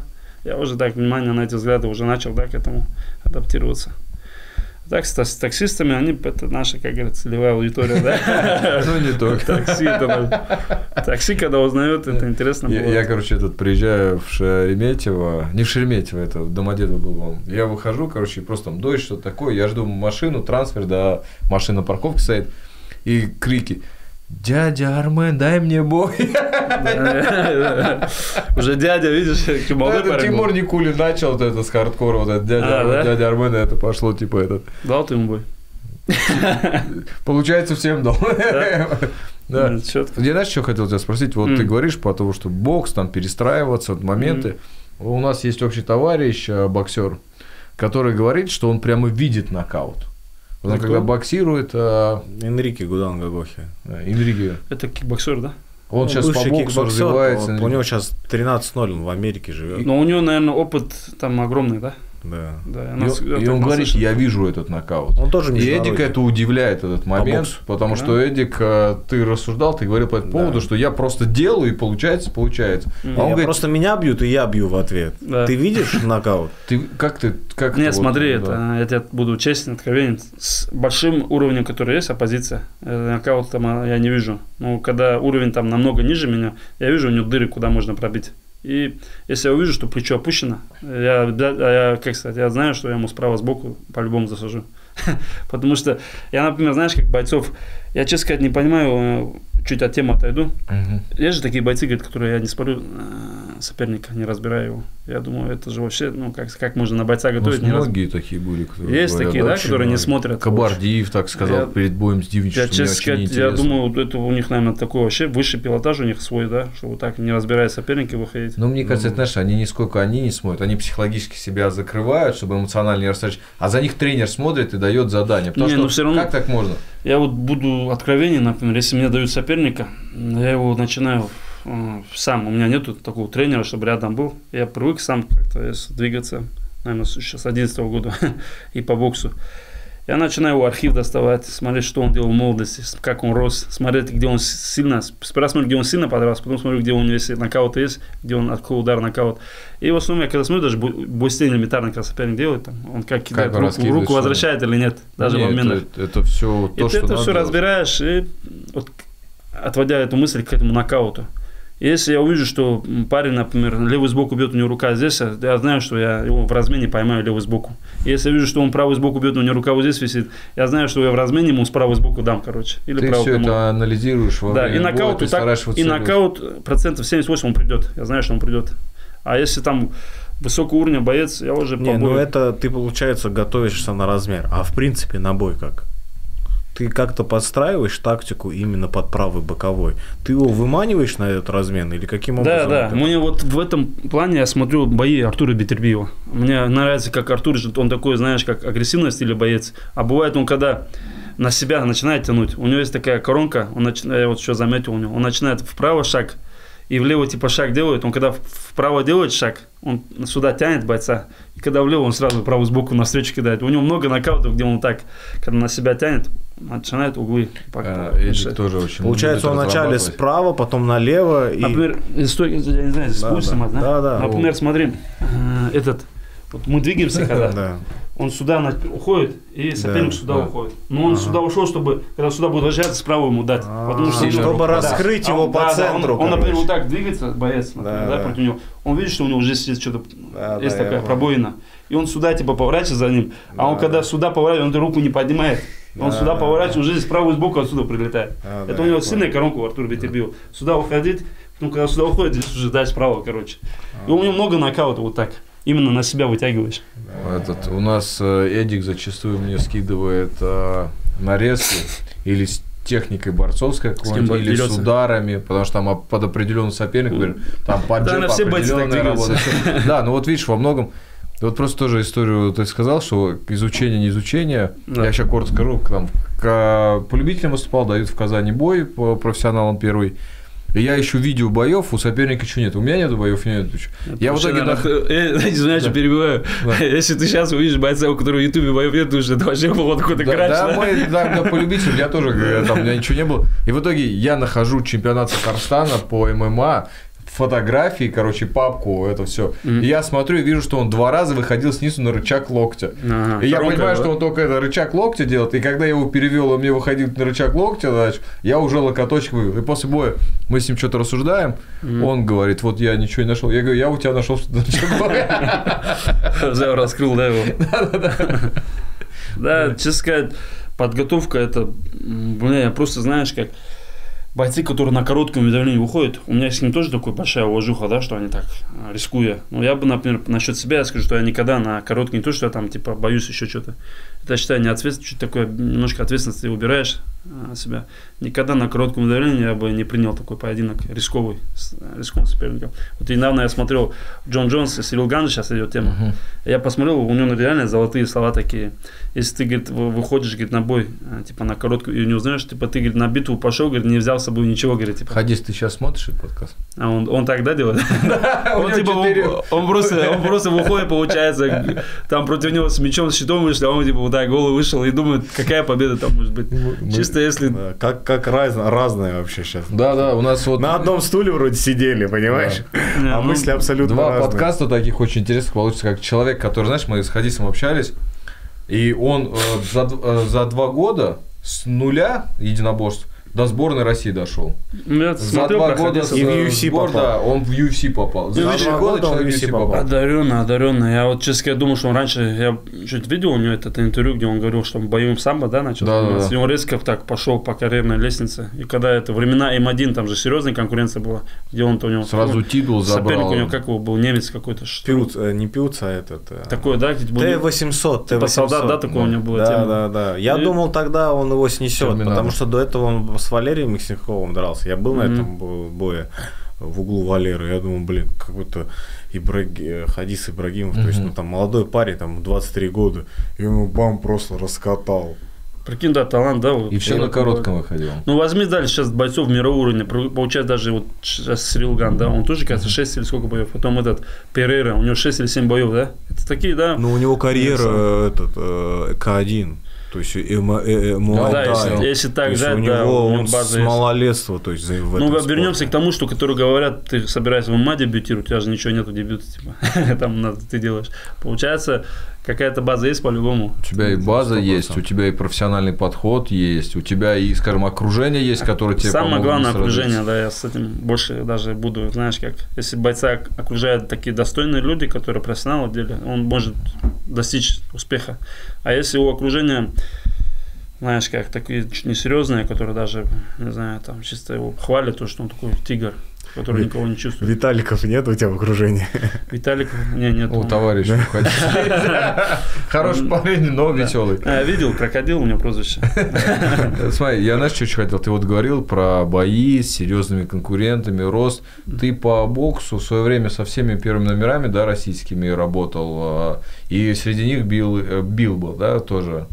А, Да. ну да, с Биллом я встречался на чемпионате России в Питере в 2011 В каком году. году? В кажется. 11 году, да. И там 4-1 и 4-2 на счет был, мы разошлись.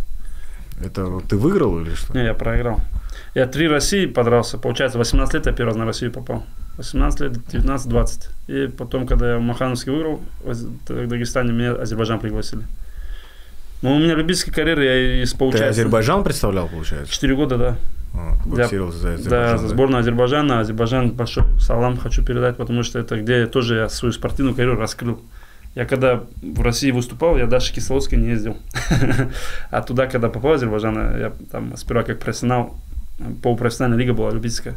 Я там, можно сказать, что увидел мир, увидел соперников новых, заграничных именно, международный уровень. И там очень много опыта набрал я.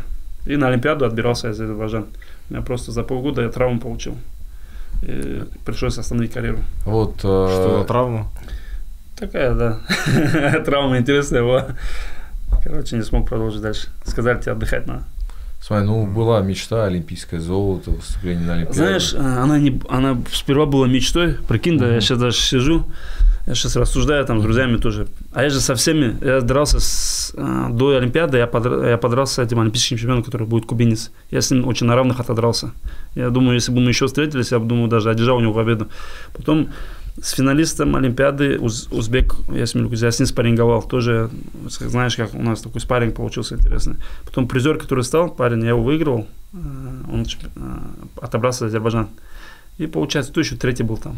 Я не помню, кто еще третий. Получается, это- я для себя это мечтал, но оно это не было таким, знаешь, неосуществимой темой. Неосуществимый, да. Просто суждено было, да. Я верю в предопределение. Да, я верю в человек, поэтому если тебе не суждено, оно не сбудется, если как бы ты ни старался. Ну Но да, причины надо создавать. Говорят же там, э, ну, есть такие тоже у меня друзья, там, чуть, они, мы с друзьями их тоже чуть подкалываем, когда они просто говорят, «Э, если не суждено, это не будет, ничего не делает. Такая легкая, да, Да, да, легкая такая, знаешь, бля, ну не суждено же мне было, а сам ничего причины не создаешь, чтобы это что-то случилось. Поэтому надо, да, в любой сфере, где бы ты ни был, какое-то дело, причину создавать, не лениться. И она или придет, или не придет. Но в любом случае, как этот Ивандер Холлифорд говорил, типа, если ты даже чемпионом не станешь, но ты будешь лучше, чем вчера, если ты будешь зал ходить, посещать. Типа, как человек, как спортсмен. Ты говорил, что для тебя большим примером являлся и Мухаммад Али, и Тайсон. Жизненные позиции. Ну, Тайсон, знаешь, больше по спорту, чем по позиции. Это помнишь, как Хабиб тоже Тайсон, Тайсон, а потом Тайсон на подкасте побыл, где Тайсон курил, говорит, Да, да. ну Тайсон уже не тот. Тайсон, честно сказать, он в натуре человек, который в натуре, ну, знаешь, вот Тайсон это наглядный пример его окружения, как его в яму загнало. Он, если бы, я думаю, как Мухаммед Али, по-любому, наверное, окружали такие, да, и сам он личность был. И как-то свою отстаивал все моменты. А Тайсон его окружение, то он принял- принимал религию, то отказывался, то он шабил, то не шабил. Короче, у него чуть перепады. Но все равно легенда, если в плане спорта, все равно легенда, конечно, без сомнения. Мухаммед Али, Тайсон. Все, да, кто добился больших результатов, они чем-то жертвовали. Мой Везер. Майвезер недолюбливают, я считаю, что это блин, один из самых дисциплинированных спортсменов, да, Э, в этом его величие, что он дисциплинированный. Как бы ни говорили его там э, стиле ведения боя, что он, Мгм. да, типа, может не выиграть, ну, выиграть, но малыми затратами и для публики. А ты попади по нему. Да, в этом же у него фишка, например, что, что он не давал по себе попасть, и крутой бизнесмен, можно сказать, да. Да, да, выставил карьеру свою очень. Это как, знаешь, Мэнни Пакьяо говорит, ты со мной подерешься, когда я совсем старым стану. Да, так и А ты знаешь, да, тут Мэнни Пакьяо и Майвезер обои подробности этого поединка. Представляешь, а, Майвезер до того такой продуманный боец, боксер, то, что он согласился-то с э, Мэнни Пакьяо и после нокаута, когда он от Маркеса упал. И то, что он в лагере узнал, что у него травма плеча переднего. Например, он левша, у него эта травма была Мгм. плеча. И там, я помню, этот разбор этого боя, и там один из аналитиков говорит, мы получаем, говорит, один из э, самых, говорит, э, в истории боев грандиозных, там, типа его столетия. Конкурентный бой. Да. И у одного, говорит, бойца просто, типа, одна рука не работает. А О. я потом смотрю их нарезки даже. Весь бой я так Мгм. не стал смотреть. Нарезки даже он, когда атакует, он этой рукой особо не засаживает, только заднюю все делает. А Майвезе, походу, видишь, он рисковал, но Тактика осознанно, такая. чтобы риск был. А когда, помнишь, Пакьяо всех носил, я не знаю, почему он подписался и дал реванш Маркесу, который он выиграл два, там, два раза. Он, честно сказать, он Маркеса такой, легендой да. сделал. Такой нокаут был Да, жесткий. да, Там, да, получается, да, на да. подшаге с Так. левой, в разрез. Бам. Получается, не, он ему справа дал. Он- Справа, Да, на он, подшаге с левой ноги. да, да, да. да Что он- это его фа- он финтанул джебом, я это разбирал этот Кто финтанул джебом? э, Маркис. Да, он, джебом да, на себя он вытянул. сделал получается. шаг, показал джеб, сделал еще шаг и в правый в разрез. А как раз таки этот уходил этот э, Пакьяо и его просто дог- догнала. Не, не, это ты знаешь, я тебя поправлю, Эрик. Это ты говоришь нокдаун. А я тебе говорю про нокаут. Нокаут, это знаешь, что было? Я, вот эти, когда раз- разборы делаю боев для себя в Мгм. голове, я, честно сказать, смотрю вот эти поединки. Ты много, да, анализируешь их? Ну, мне раньше я сильно боксом горел. И я очень... У меня любимая программа была на НТВ, это «Ночь нокаутов». Если кто помнит, раньше. Да, да, кстати, классная аналитика. Наре- была, нарезка классная такая, да, нарезка, короткая, да, и там да. такие нокауты были. И мне- я всегда что замечал, а, у себя в голове держал, вот эти 10 секунд, когда стучат, надо быть вообще сильно сконцентрированным, потому что в эти 10 секунд и происходит грубый нокаут такой, потому что ты думаешь, 10 секунд сейчас пойдешь на стул, отдохнешь, типа. А там было 10 секунд, где Пакьяо на него пошел с атакой, и он ему просто ну, встретил его. Даже если замедленная съемка, Маркес не видел, куда удар летит. Он Просто Да, так, он вот вниз так сделал, кинул. да. Он его попал, короче. Вот эти 10 секунд, они очень важные. И мне тренер всегда говорил, эти 10 секунд ты должен забирать, но не рискуя, да? Ну вот и обидно, знаешь, в чем в дальнейшем люди будут смотреть там а, Майвезер, да, там рекорд его, и такой, типа, величайший там боксер этого времени. А Мэнни Пакуау, Пакиау уже будут говорить по последним поединкам, которые там проиграны, хотя у Ну, них знаешь, истории, бои, это все. В любом случае, э, они вклад по-своему внесли. Они оба в зале славы, да, бокса. Ну да. И я думаю, он этот огромное наследие Пакьяо оставил 8 или с- 9 весовых категорий. Прикинь, он как прошелся. С, Да. с 51 или 52 килограмм он до 69 поднялся. Это вообще, да, уникум. Майвезер свой вклад оставил. Все, Мухаммед Али Тайсон. Возьмем, да, наших, Мгм. с нашего, например, Поветкин, там, не знаю, Валуев, потом кто там еще есть, Головкин, да, с Казахстана. Каждый оставил свой вклад. Сейчас мне на данный Дю, момент да. нравится это Костя Дзю, да. Сейчас мне на данный момент нравится Хабиб Аллахмедиев, это мой земляк, Султан Ибрагимов. Это мои земляки, которые, да, тоже внесли вклад в профессиональный спорт. Сейчас Заур Абдулаев есть. Но этот, а, почему я это все сейчас сводил мысль? Блин, прикинь, сбился, когда начал эти... э, Ну, и что историю спорта они вошли в эту историю. Да, да, каждый оставил свой вклад, и поэтому, как сказать, никак у них не умаляет их недостоинство. Ну, лучше среди них, получается, кто не проиграл, да? Это Да. моего здесь себя называют лучшим. Типа Мухаммед Али тоже проигрывал. Но при этом, смотри, да, Мухаммед Али проигрывал, но при этом Мухаммед Али все равно...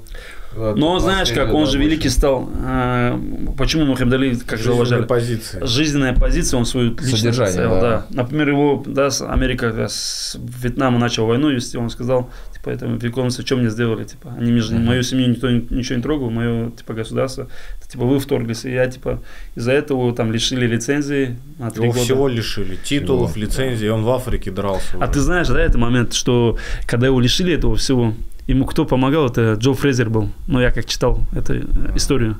Кто его нокаутировал? Нет, я тебе сейчас скажу такой чисто человеческий момент. В этом Мухаммед Али мне, честно сказать, одно время что-то даже разочаровывал. Не, по- я был на стороне Фрейзера, типа, ничего себе. Получается, когда его всего лишили, это, типа, Фрейзер ему даже его семью, что ли, там как-то Да, обеспечил. помогал, помогал. Посодействовал, чтобы его с- вытащили, да. А потом, когда он вышел, он взял, начал бой раскручивать, оскорбляя, там, знаешь, как брать обезьяну, говорить, что ты, типа, будешь нокаутирован, там, еще что-то. Короче, он, он же до конца жизни, Фрейзер, говорит, ему как-то эту обиду и не простил, типа. Хотя он всегда говорил, если, говорит, будет какая-то священная война, говорит, я бы хотел, чтобы рядом со мной, типа, Фрейзер находился. Такие великие слова говорил. Но Фрейзер его, знаешь, как все равно, типа, глубине души не простил. Ну да, такой момент был, и вот я тебя об этом и хотел спросить, вот к такому трэш-току. Вот смотри, мы говорим Мухаммад Али, самый Мгм. величайший боксер. Почему? Потому что он Три- вывел... Потому что триллер в Маниле был. Да, но еще момент такой, что он вывел бокс на И другой плюс уровень. поединки, да, Он медийность раскрыл, он монетизировал это все, экономически да. и прочее. Проснись, И извинись. то же самое и Конор, да, Макгрегор в свое время. Но при этом люди через трэш-ток пошли. Вот твое отношение к трэш Мухаммед Али, Без знаешь- них бы не было такого бокса. Без, а, Мухаммед Али, знаешь, такого интересно. Мухаммед Али. Где-то он, может, перегибал. Я вот, честно говоря, одно время на Ютубе сильно смотрел его трешток даже так. Как он вообще мыслит. Он же, прям, можно сказать, это такой вообще философ, один из великих. Как Мгм. он сидит, и его журналист говорит, там, типа, как-то уколоть его решил, типа. А, и он ему говорит, ну, типа, ты тоже не тот, говорит, если ты сомневаешь, говорит, спроси у своей жены, типа. Он говорит, а, вот он ему, один из журналистов ему говорит, типа, вы же, говорит, занимаетесь боксом, говорит, и у вас, типа, вы постарели, говорит. Он говорит, и он так на него особо не обращает внимания на журналиста, говорит, знаешь, говорит, «а ты тоже, говорит, не красавчик, говорит, но ты журналист, говорит. А я, типа, занимаюсь боксом. И вот так уколол. А, Мне в этом плане нравится, знаешь, трешток Маги Исмаилова, у него такой веселый трешток бывает. Ведь трешток надо вести, где личность не оскорбляет. Хабиб тоже такой же трешток вел, да, он не оскорбляет, пока всего там жестко так.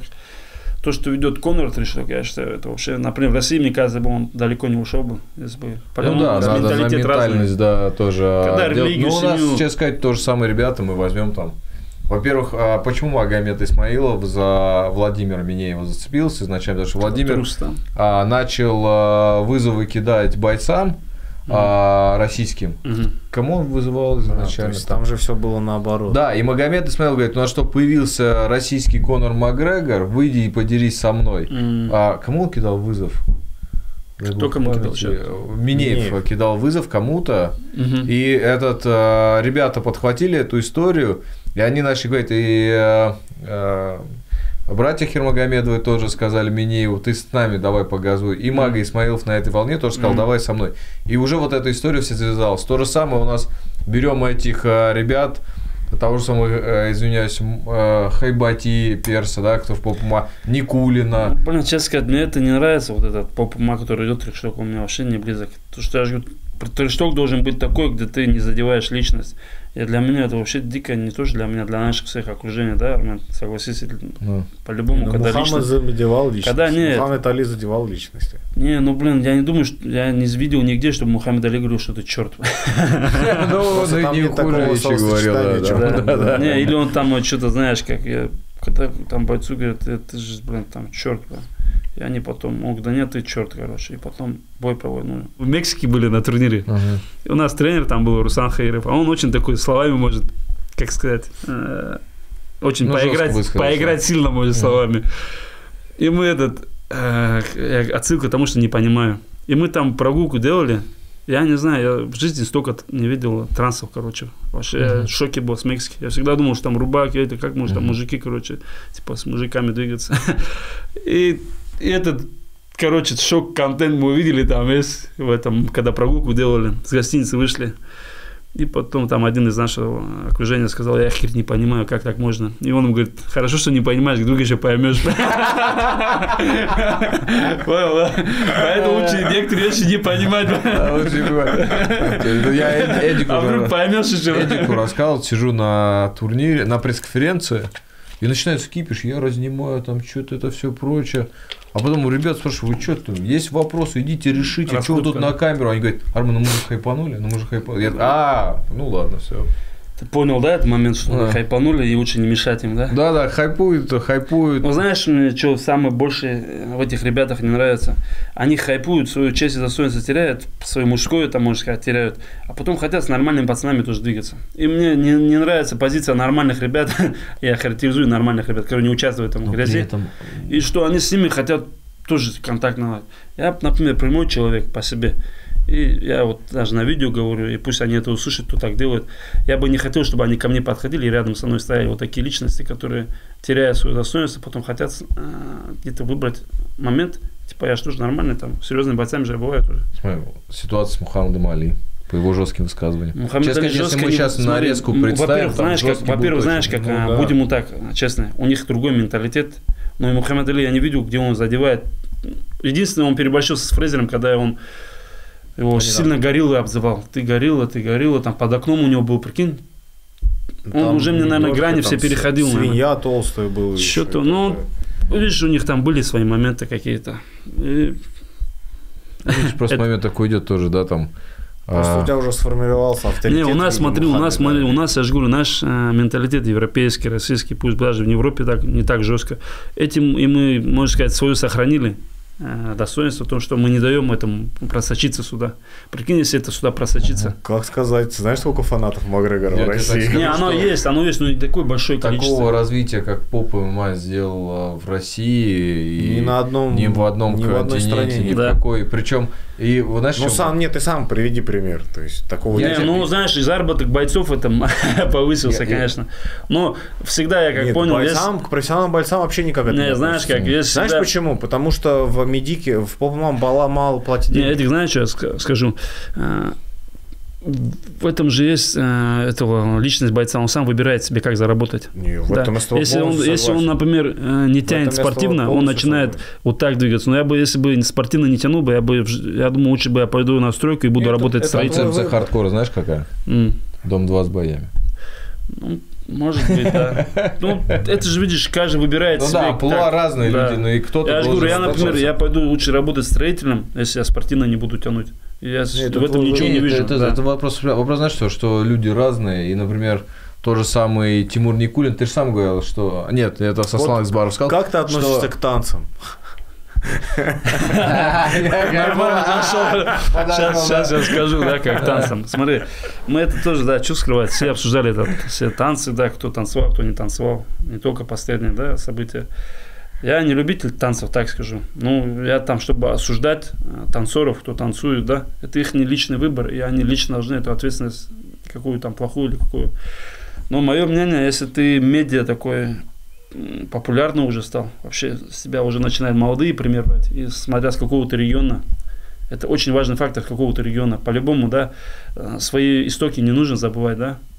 к какому ты относишься, у тебя твой тейп, род, откуда ты. Если ты это забудешь, у тебя в натуре ты уже, то у тебя будущее. Нет, если ты не помнишь прошлое, нет у тебя и будущего.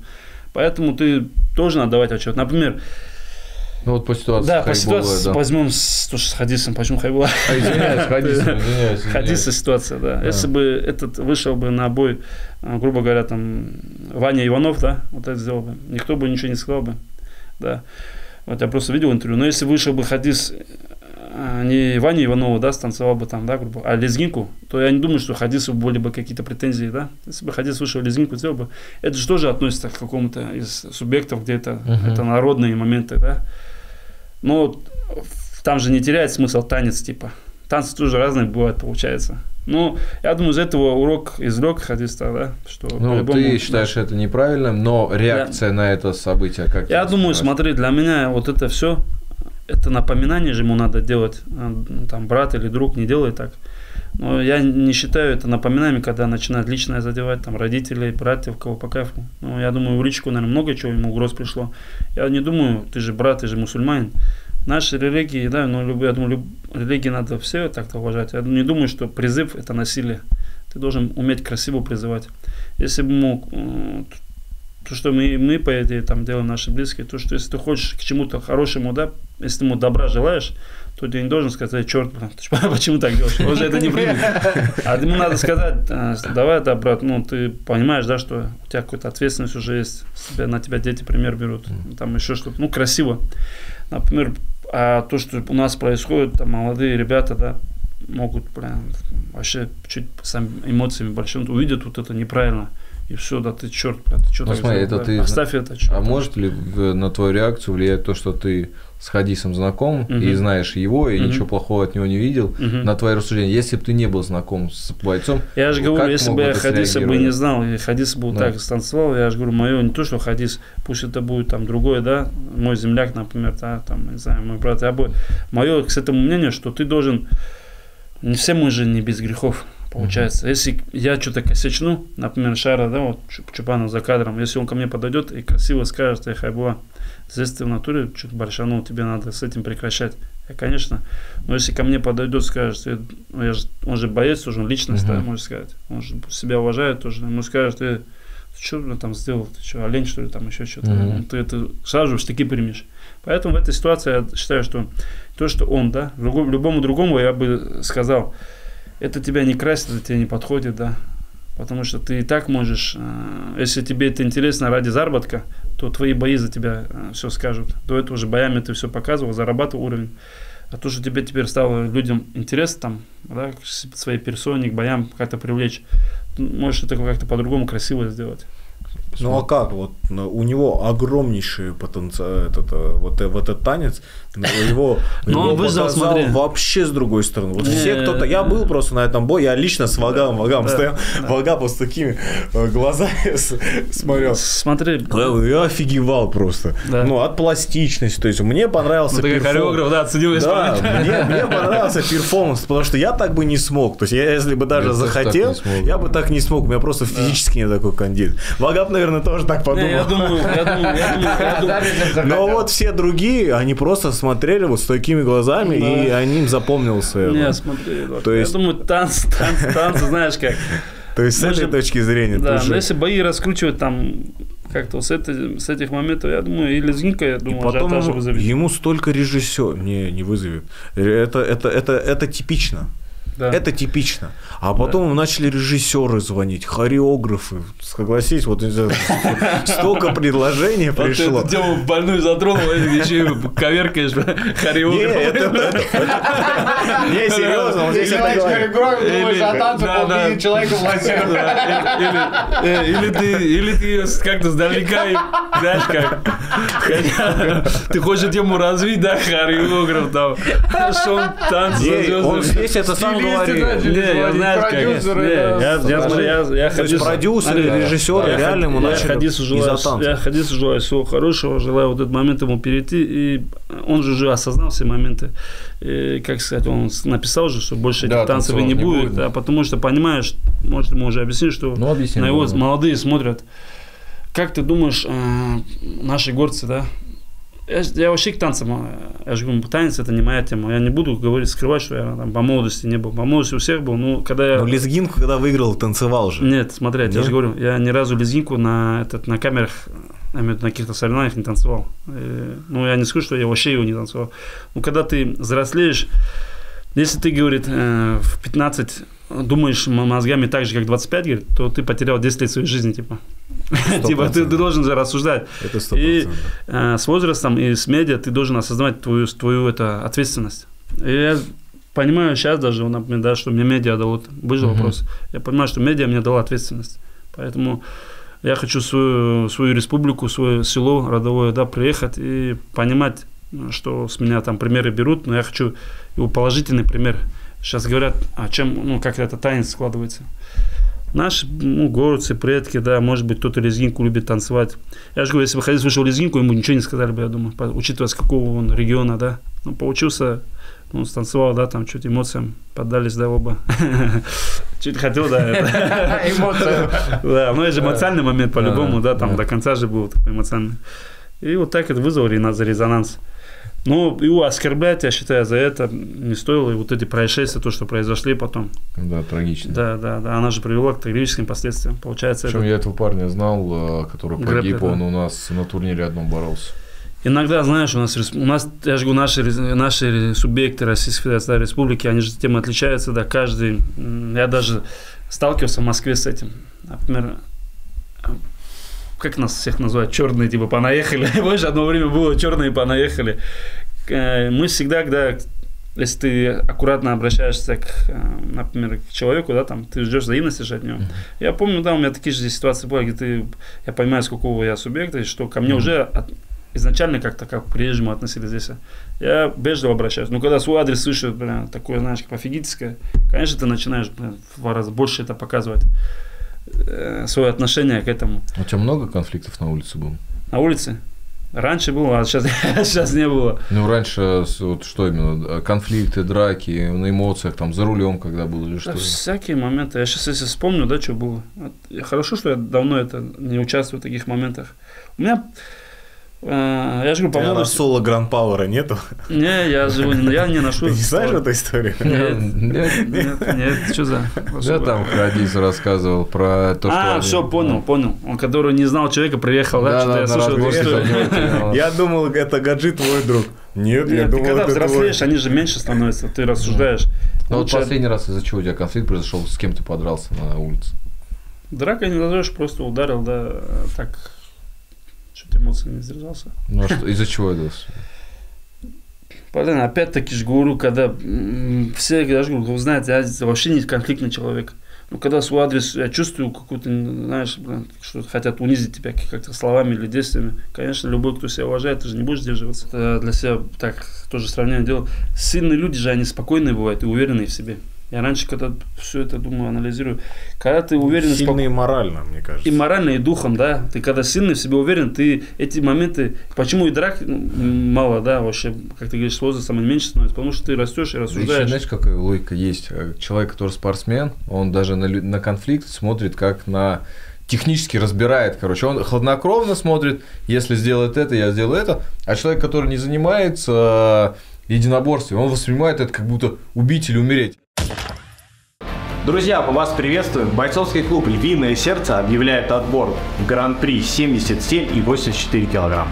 По ссылке в описании ты можешь заполнить анкету, и нами будут выбраны 8 сильнейших бойцов в каждой весовой категории. И только один победитель в каждой весовой категории получит право тренироваться в клубе «Львиное сердце», проживать и все необходимое для дальнейшего профессионального роста. Проходи по ссылке, заполняй анкету, и у тебя будет возможность стать частью команды «Львиное сердце». Лечу в самолете, а, и получается так, что вижу какая-то суета творится в самолете. Мгм. Крики, а я в наушниках, босиком, короче, я такой лежу, а там отец, тетя, Такой релакс нарушили, да, там? Да, я слышу крик, вижу женщина взрослая ведет э, парня, куда-то отводит, там какая-то суета. Ага. Потом я, знаешь, наушники снимаю, вижу, этот парень обратно туда летит, эта женщина взрослая начинает Всё плакать. Да. Блин. И я такой Нехорошая ситуация. Не хотел бы я там оказаться. Да, не понимаю, Ты панику поймал сам. не понимаю, что происходит, но там драка какая-то, что такое. Да, не, когда летишь, да? Да, и я, и я, короче, такой этот, выхожу, иду туда, вижу там трое одного месяц, один здоровый, большой, трое его месяц. И я, короче, этих раз, раз, раз, к этому здоровому подхожу, э, начинаю успокаивать, что-то этот, я ему говорю, успокойся, он кто такой, типа, а он, а он выпивший, короче. Но я на тот момент вообще не понял, что выпил. И он что-то раз мне говорит, я говорю, успокойся. И он размахивается меня ударить. И я под эту руку его беру и как бы закидываю между этих сидений. Я между сидений его закидываю, начинаю весом поддавливать. С этой стороны рука вот так. И у меня как будто замедленной съемки. Да. Рука такая чья-то идет, ему и палец в глаз засовывает. Да, не. Причем полпальца туда проходят Блин. такие, а, а я в шоке от того, что Чё ты что творишь? Я хватаю его за руку, отталкиваю, и на этого этот встает, короче, я говорю, ты что, хрен, я говорю, успокойся. И этот скакивает, и уже... А получилось так, что, ну, наверное, видел, ну, спортсмен даже когда походит, проверяют что-то, как, знаешь, там все. И вот когда мы с ним сцепились, вот, и я его загрузил, он, наверное, что-то немножко Понял. почувствовал. И он мне такой, ты кто такой, типа, все такое, типа, и он начинает блатными этим все жаргоном, Мгм. все это. Я ему говорю, человек, там, типа, все проще. Да Кто я там. А что не сказал я, Армен Гулян? Да нет, Профрекорд 10 он, мне, короче, это перечисляет, знаешь, я ничего не говорил. Но в итоге в том, что он уже, знаешь, там пытается что-то цепиться, я его так опять цепиться, все. Ситуация заканчивается. А другие люди что делали там? да, не вот эти, мужчин, да? там, короче, ситуация в чем была? Нет, там три пацана, мужика я понял, но там же, наверное, мужчин тоже были, Там, не, ситуация- не там помогали. прикол вообще был, знаешь, в чем? А. Там а, он, он блатной, он А здоровый, я понял, что он блатной, толстый, а он другие такой- люди, мужики не подходили, чтобы Так помочь? они с ним А дрались. Да, там ситуация, знаешь, в чем была? Он пьяный сидел. Да, и он он пьяный. сидел 30 минут, всех крыл, и все, молчали, сидели, да? знаешь, типа этот, все. И вот ситуация стригерила в том, что он а, парень с девушкой летел, Мгм. и его девушка сцепилась с этой с девушкой, э, и он ее послал, этот парень, Да, муж сказал, история. и, короче, получается такая ситуация, что этот муж скинулся, эти кинулись, они его убить были готовы. Они даже не рассуждали, что как, а, и он там блатной, не блатной, короче, все прочее. И я потом, я, а я, короче, этот парень, который с ним дрался, я его отсадил к себе туда, сел напротив этого мужика, он мне всю дорогу рассказал, какой он Куда блатной. летел? Куда летел ты? Он говорит, он, говорит я, он мне говорит, я тебя найду. Свои, свои. Я тебя найду. Алик, там отводи людей. прочее. И я ему говорю, ты меня не ищ- ты, тебе искать меня не надо будет. Мы сейчас приземлимся, и мы с тобой все вопросы решим. Я говорю, а и если что-то ты исчезнешь, я тебя все равно сам найду. И он такой в один момент такой, типа, а мне там, знаешь, блатным, не блатным, говорит, давай договоримся так, не ты меня не ищешь, не я тебя. Но если ты меня будешь искать, я жизнь положу на то, чтобы тебя убить. Короче, вопрос. Да. и я сижу весь полет, женщина с ребенком сидит, из которой все началось. И все разговариваю, а я вообще пытаюсь в тему понять, кто что. Мгм. И я ее спрашиваю, а вот этот парень, который сидел здесь, дрался, он, это мой муж. Я такой думаю, получается сейчас в данной ситуации. Твой муж пошел, сел на мое место туда. И я вместе с Димашером рядом с твоей женой сижу, эту историю решаю. А где муж был потом?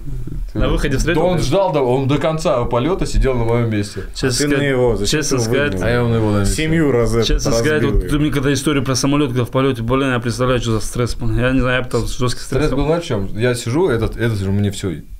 Ты Их не встретили то-то, там по прилету? Его все. Нет, у нас самолет посадили в Самаре, и в новостях это А, все есть. да, да, не. У нас в Самаре посадили. Вопрос в том, что получается. Да нет, нет, этот. И, короче, этот, а, и он всю дорогу мне угрожал, что-то говорил. А справа, да? И- э, да, и, и, знаешь, это, потом как ты матом что-то говорит, матом ругайся. Да, извини, ну, блядь, и когда опять продолжает.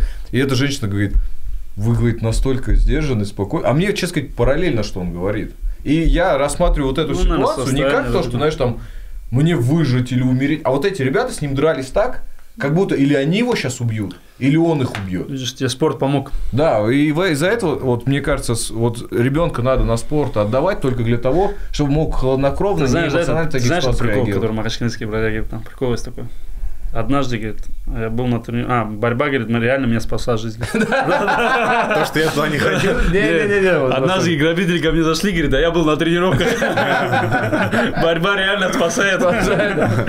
Вот я, знаешь, что еще хотел спросить про т- трэш-ток, поговорили все это эмоционально, но ты даже реагируешь эмоционально не только на прямой трэш-ток, а даже упоминание тебя, если у вас там нету боя назначенного. Да, да, я честно я вообще в этих- я в этих делах вообще старомодный, честно сказать. Я до сих пор с этим как-то борюсь. Мне говорят, Хайбуа, хорошо, что тебя, говорит, хоть уважительно, но упоминает, говорит.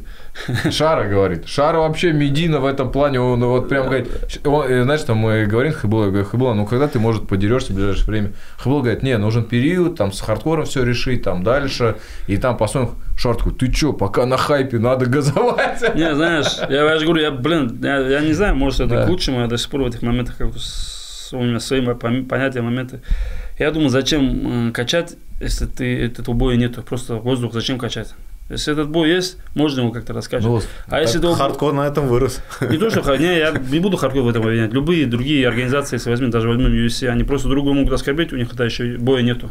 Просто в итоге чтобы не... получить бой. А ты Не. заметил, что Хабиб пока не начал реагировать, пока не начал там а, какие-то вещи, там, если бы самбо был бы проще, надо было на джиу-джитсу, он там пенял Не, то, я что говорю, кто там дерется. трешток, там что-то раскрутка, она должна быть, я, ну, имеет место быть, вернее. Но не задевая ничего, ни честь, ни достоинство, ни религии, это вообще такое. Ну, это да, это понятное дело. Вот ситуация, вот перед Стуйновым, да, он Мгм. тебя упомянул, у вас я нет его не тоже назначенного ответил, боя. да. А бой с ним тебе интересен? Вот На, просто- на нашем деле, сразу говори, где. на Смотри, сейчас деле интересно, какая классно. организация возьмется за это. Он же на контракте у правды. Э, Я и ответил, да, какой-то организация, пусть даже что-то присылает. Я сказал, 10 раундов там, да. То, что всем боксу? интересно. Да, он же боксерский, там контракт. Меня по боксу вызвали, я по боксу и ответил. Хотя у меня это А в по планы не боксу входит. тебе интересно или ты Она, будешь- она у меня не входит в план вообще. этот Ну, вызови его по ММА. Да, ну, может, возможно, в будущем по Блин, подеремся. Это а нет, тут не совсем, наверное. Тут он же базовый кикер. Ты базовый боксер, здесь э, Как более широкая. идеально. Как раз на нашем По деле. Нет, вопрос в чем? Вопрос в том, что, например, э, у- Правда кикеру, его не ограничивает. боксеру легче разорвать работу просто там лоу-киками, да, под переднюю ногу. Ну ты сразу-то не хорони карьеру Хайбулы. Да не Не, хороню, Не, Хайбула мне, найдет. честно сказать, подраться у меня вообще проблем нет. С Туйновым? ММА. Не то, что с ним, а с другими тоже у меня нет проблем с этим ПМА драться. Вот, Э, Хайбула- договаривайся с Хайбула сказал, что сейчас а, я делаю этот а, пару боев, забираю титул, потом забираю сильнейших а, бойцов в легком весе в России. Эдуард Вартанян в списке вроде есть. А, В Топологи первое Да. место там занимает. 7-7. И потом уже перехожу в UFC за границу, там тоже. всё. Не, я сейчас тогда это не знаю, кто сказал, я буду сейчас своими словами говорить. У меня сейчас отдых, у меня Рамадан впереди. Я буду сейчас готовиться постепенно и попозже посмотрим, в каких организациях я буду выступать, какую организацию выберу, площадку на своих условиях. И, конечно, я на- наступил на одни грабли, высказался. Теперь, да, есть у меня моменты. Теперь буду тщательно к этому вопросу подходить. И сейчас главное, знаешь, как не спешить, я думаю, для себя. Вы грамотно просто взвесить все моменты. Я знаешь, что для себя заметил? М. Что все, что не происходит, Ну, к лучшему, да. да, к лучшему и происходит в свое время. Согласен полностью, да. Я с тобой полностью согласен. Когда у тебя там жизненные моменты какие-то бывают, где ты потом думаешь, блин, почему она так идет? А в итоге ты думаешь, значит, это было лучше. Даже те же травмы, те же самые ситуации, которые у нас возникали, которые в какой-то момент казались нам не очень хорошими, Да, привели да, к тому, да, к да. чему мы сейчас находимся. Даже опять-таки возьмем, я же говорю, это же тренирует твою личность. Как ты можешь справиться с этими Испытания. Да, испытания. Если их нету, то, блин, я не знаю, как можно вообще узнать свой потенциал, где ты, чего стоишь вообще. На самом деле, честно сказать, хороший у вас подкаст. Я не знаю, почему ты меня раньше не звал сюда. Я тебя звал. Вопрос знаешь в чем? Просто из-за этой шумихи, что ли, позвал? Это Мы с тобой уже давно по этому поводу говорим. Просто Говорим, мы- Конечно, Хадиса из-за танцев, тебя Да, из-за за эту шумихи, тему, да. Армен, мы, сма- мы- вот нас сейчас ругают, потому что наш подкаст мы снимаем. выходит или что? Да, у нас последний выпуск три месяца назад был, а два выпуска. Два а чаще. до этого полгода мы не снимали. Да, какой полгода? Еще больше А с чем снимали. связано это? Ну, разные обстоятельства. И Эдик Баем Гатайс травму получает, и другой суеты много. Времени И, мы- и бывает. мы, это, мы не снимаем это для какой-то, знаешь, там, коммерции или что такое. Мы От души, приглашаем короче. тех людей, с которыми нам хочется общаться, и как бы так. А под инфоповоду это тоже, скажем так, попало. У нас а, есть люди, которые уже несколько раз у нас были. Мгм. А, так что я уверен, в ближайшее время Знаешь, новый когда хотел твоего попасть? развития да, будет. после своего дебюта как раз и к тебе прийти. Это как обсудить. раз. Во, как Ошибки раз. Мы- обсудить. Мы, первые. Мы Да, первые да. будем. Все. Почему обсудить ошибки? Обсудить. Но все равно в этом вояже, как, в любом бое бывают ошибки. Давай, знаешь, я как мы сделаем? М. Первый бой по ММА, и мы встречаемся, обсуждаем его, еще проводим аналитику совместно. Потому что Да, вообще мы уже да. Ты же поняли- знаешь, что какой-нибудь плазменный телек поставь тоже. Мы будем останавливать его. Ты говоришь, вот здесь стол накроем, попкорн. Да, вообще арбуз, арбуз, арбуз, хлеб. Не, вот это знаешь, э, надо поставить. это же реально создано для какого-то, не знаю, вот, блин, она же прям напрашивает, что еда где должна быть на Сто столе. процентов. Даже, чтобы крутилось, если такое Когда-то у нас были печенюшки. Ты знаешь, не у. Сослана, у Агапа, у них всегда в историях заряженные рестораны бывают, где вот так еда крутится. Хайбулат, тебе спасибо большое, что ты сегодня к нам пришел. Я думаю, мы много интересных тем обсудили. И, как мы уже договорились, после твоего первого боя по ММА мы обязательно встретимся вновь у нас в студии. Вам огромное спасибо, что пригласили. Очень приятно было с вами посидеть, да, пообщаться. Мне знаешь, что нравится, что у нас этот, а, именно по спорту одинаковые взгляды на это все. И, конечно, следующий приход. Может быть, еще здесь стул поставить, еще какого-нибудь И да, гостя Да, да, посадить. без проблем. обязательно. Кого И- захочешь. И, а, думаю, Пусть, э, пусть наши да, подписчики скажут, напишут, да? да, наши зрители скажут, кого хот- бы хотели видеть с. Хайбулой в следующем, в Шара, следующем Шара, Чародоз, выпуске. Вагап, это сос, это связка такая. Я думаю, ошибок побольше можно я, я уже думаю, да. Такой большой большой Это знаешь, как из той серии. Ты один приди, и мы по одни придем. Ну, И мы придем, да? Знаешь, этот...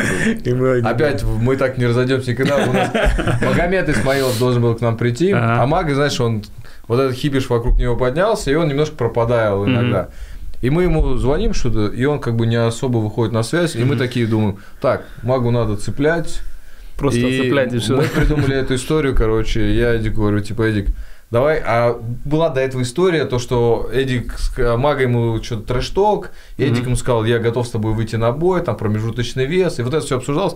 Я говорю, давай ему обращение в виде вызова кинем на За- подкаст. Затянуть, чтобы, да? И в итоге Эдик так обращение делает, интересно, что Мага и многие... Мага понял, что это на подкаст приглашение, но многие подумали, что Эдик его на бой вызывает.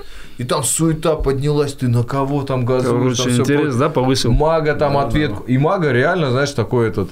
Мне звонит, а мы с Магой в одной команде были, Golden Team, все прочее. И Мага мне звонит, говорит, Армен, ну ты же свой. Я говорю, что значит свой, не свой? Я говорю, и ты мне не чужой, и Эдик. Я говорю, он говорит, ну там все нормально будет на подкасте. Я говорю. Мага, блин, чё, куда мы тебя звать-то собираемся? Нормально все будет. Он говорит, ты меня встретишь? Я говорю, конечно, встречу. Я выхожу, встречаю его с машин. Мы, он всю дорогу мне, Армен, ну смотри, если Эдик что-то начнет, я-то не буду там, А. ну, если надо, стол перевернем, там все прочее. Я говорю, да Мага, успокойся, все нормально. Приходим на подкаст, сидим, разговариваем. И в итоге Мага уходить не хочет. Заговорили, да? А, лучший его выпуск был. Лучший выпуск? да. А, Его. Не, Его. мне кажется, мне кажется, у, у Маги даже выпуск это с Хабибом был, нет? Когда они за столом Не, сидели. Посмотри этот наш Самое много подкаст. просмотров где был? Нет, ну это Хабиба. лучше Не, это у него хайп, это А ты Хабиб, посмотри да. наш подкаст. Мага. Там Всё. такие истории есть. Ты просто, я не знаю, битва за хлеб. Э, Там В плане там-то, Сейчас сказать, там Мага с много историй, но Хабибом, это на следующий раз оставим. Это в следующий раз. Да. Мага с Сейчас- Хабибом не раскрылся. Мага задавал вопросы, Хабиб и раз- Не, ну, Хабиб как бы его ну, интересно было, учил. да. Я Да, интересно, Да, с точки было. зрения. Да. Просто за столом сели, но зато как они там пообщались. Очень много А полезного. здесь-то Хабиб Мага сказал. сам раскрылся. Вот я тебе скину ссылку, время будет. Я Там и обязательно спортивные посмотрю. вещи есть Да, интересные, и вот именно Истории жизни. истории жизни Мага умеет Ну, рассказывать. вернемся к твоей ситуации с самолетом. Я бы никому не пожелал, чтобы на в лету хибиши были. Это знаешь как? Это такой стресс Самый жестокий. прикол, знаешь, в чем? Вот там э, стюарты были здоровые парни, они вообще не Они у тебя узнали просто, Армен. Подумай, Армен, если очень Мне, подождем. мне потом этот, мы подкаст записывали, и этот а, э, подкаст записывали, и мне один из комментариев пришел, который типа «А, расскажи историю про самолет. Э, это серьезно, Легендарная история, да, короче. Так. Да, и всем, кто летает, этот, как не Мягкой шумите там, да, не шумите, мягкой посадки. Реально же этот э, воздух, там любой шум, это такой стресс. Надо реально что-то Ты боишься летать? Я?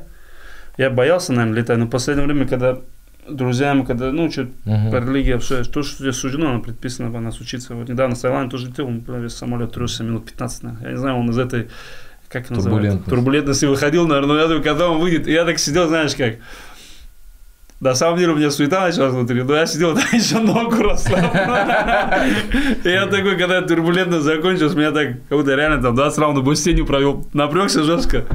А я думаю, блин, так никогда не летел, что минут 15, вот самолет, короче, вот так вверх, вниз, блин, я думаю, Ну, ничего. себе. бывает так. А знаешь, это момент такой, что ты просто не контролируешь, из-за этого ты переживаешь. Ты даже за рулем едешь, ты контролируешь ситуацию. Там. Ну да, На пассажирском можешь тоже попросить остановить. Поэтому, блин, кто будет смотреть этот подкаст, не вздумайте, ну, особенно там в воздухе исполнять, да. Это, блин, вы не только для себя. А то в салоне окажется не Армен. Гулян Армен, не Гулян Армен, который с вами бороться будет, а Хайбула Мусалов. Да, я, я, я, я, честно сказать, еще подумал бы, подходить или нет. Лучше там пусть эти работники выполняют свои обязательства. Ты правильно заметил, что эти стюарды или кто там, они должны там же быть, охрана какая-то. Мгм. Пусть они обязательно, за что они там, они же тоже зарплату получают.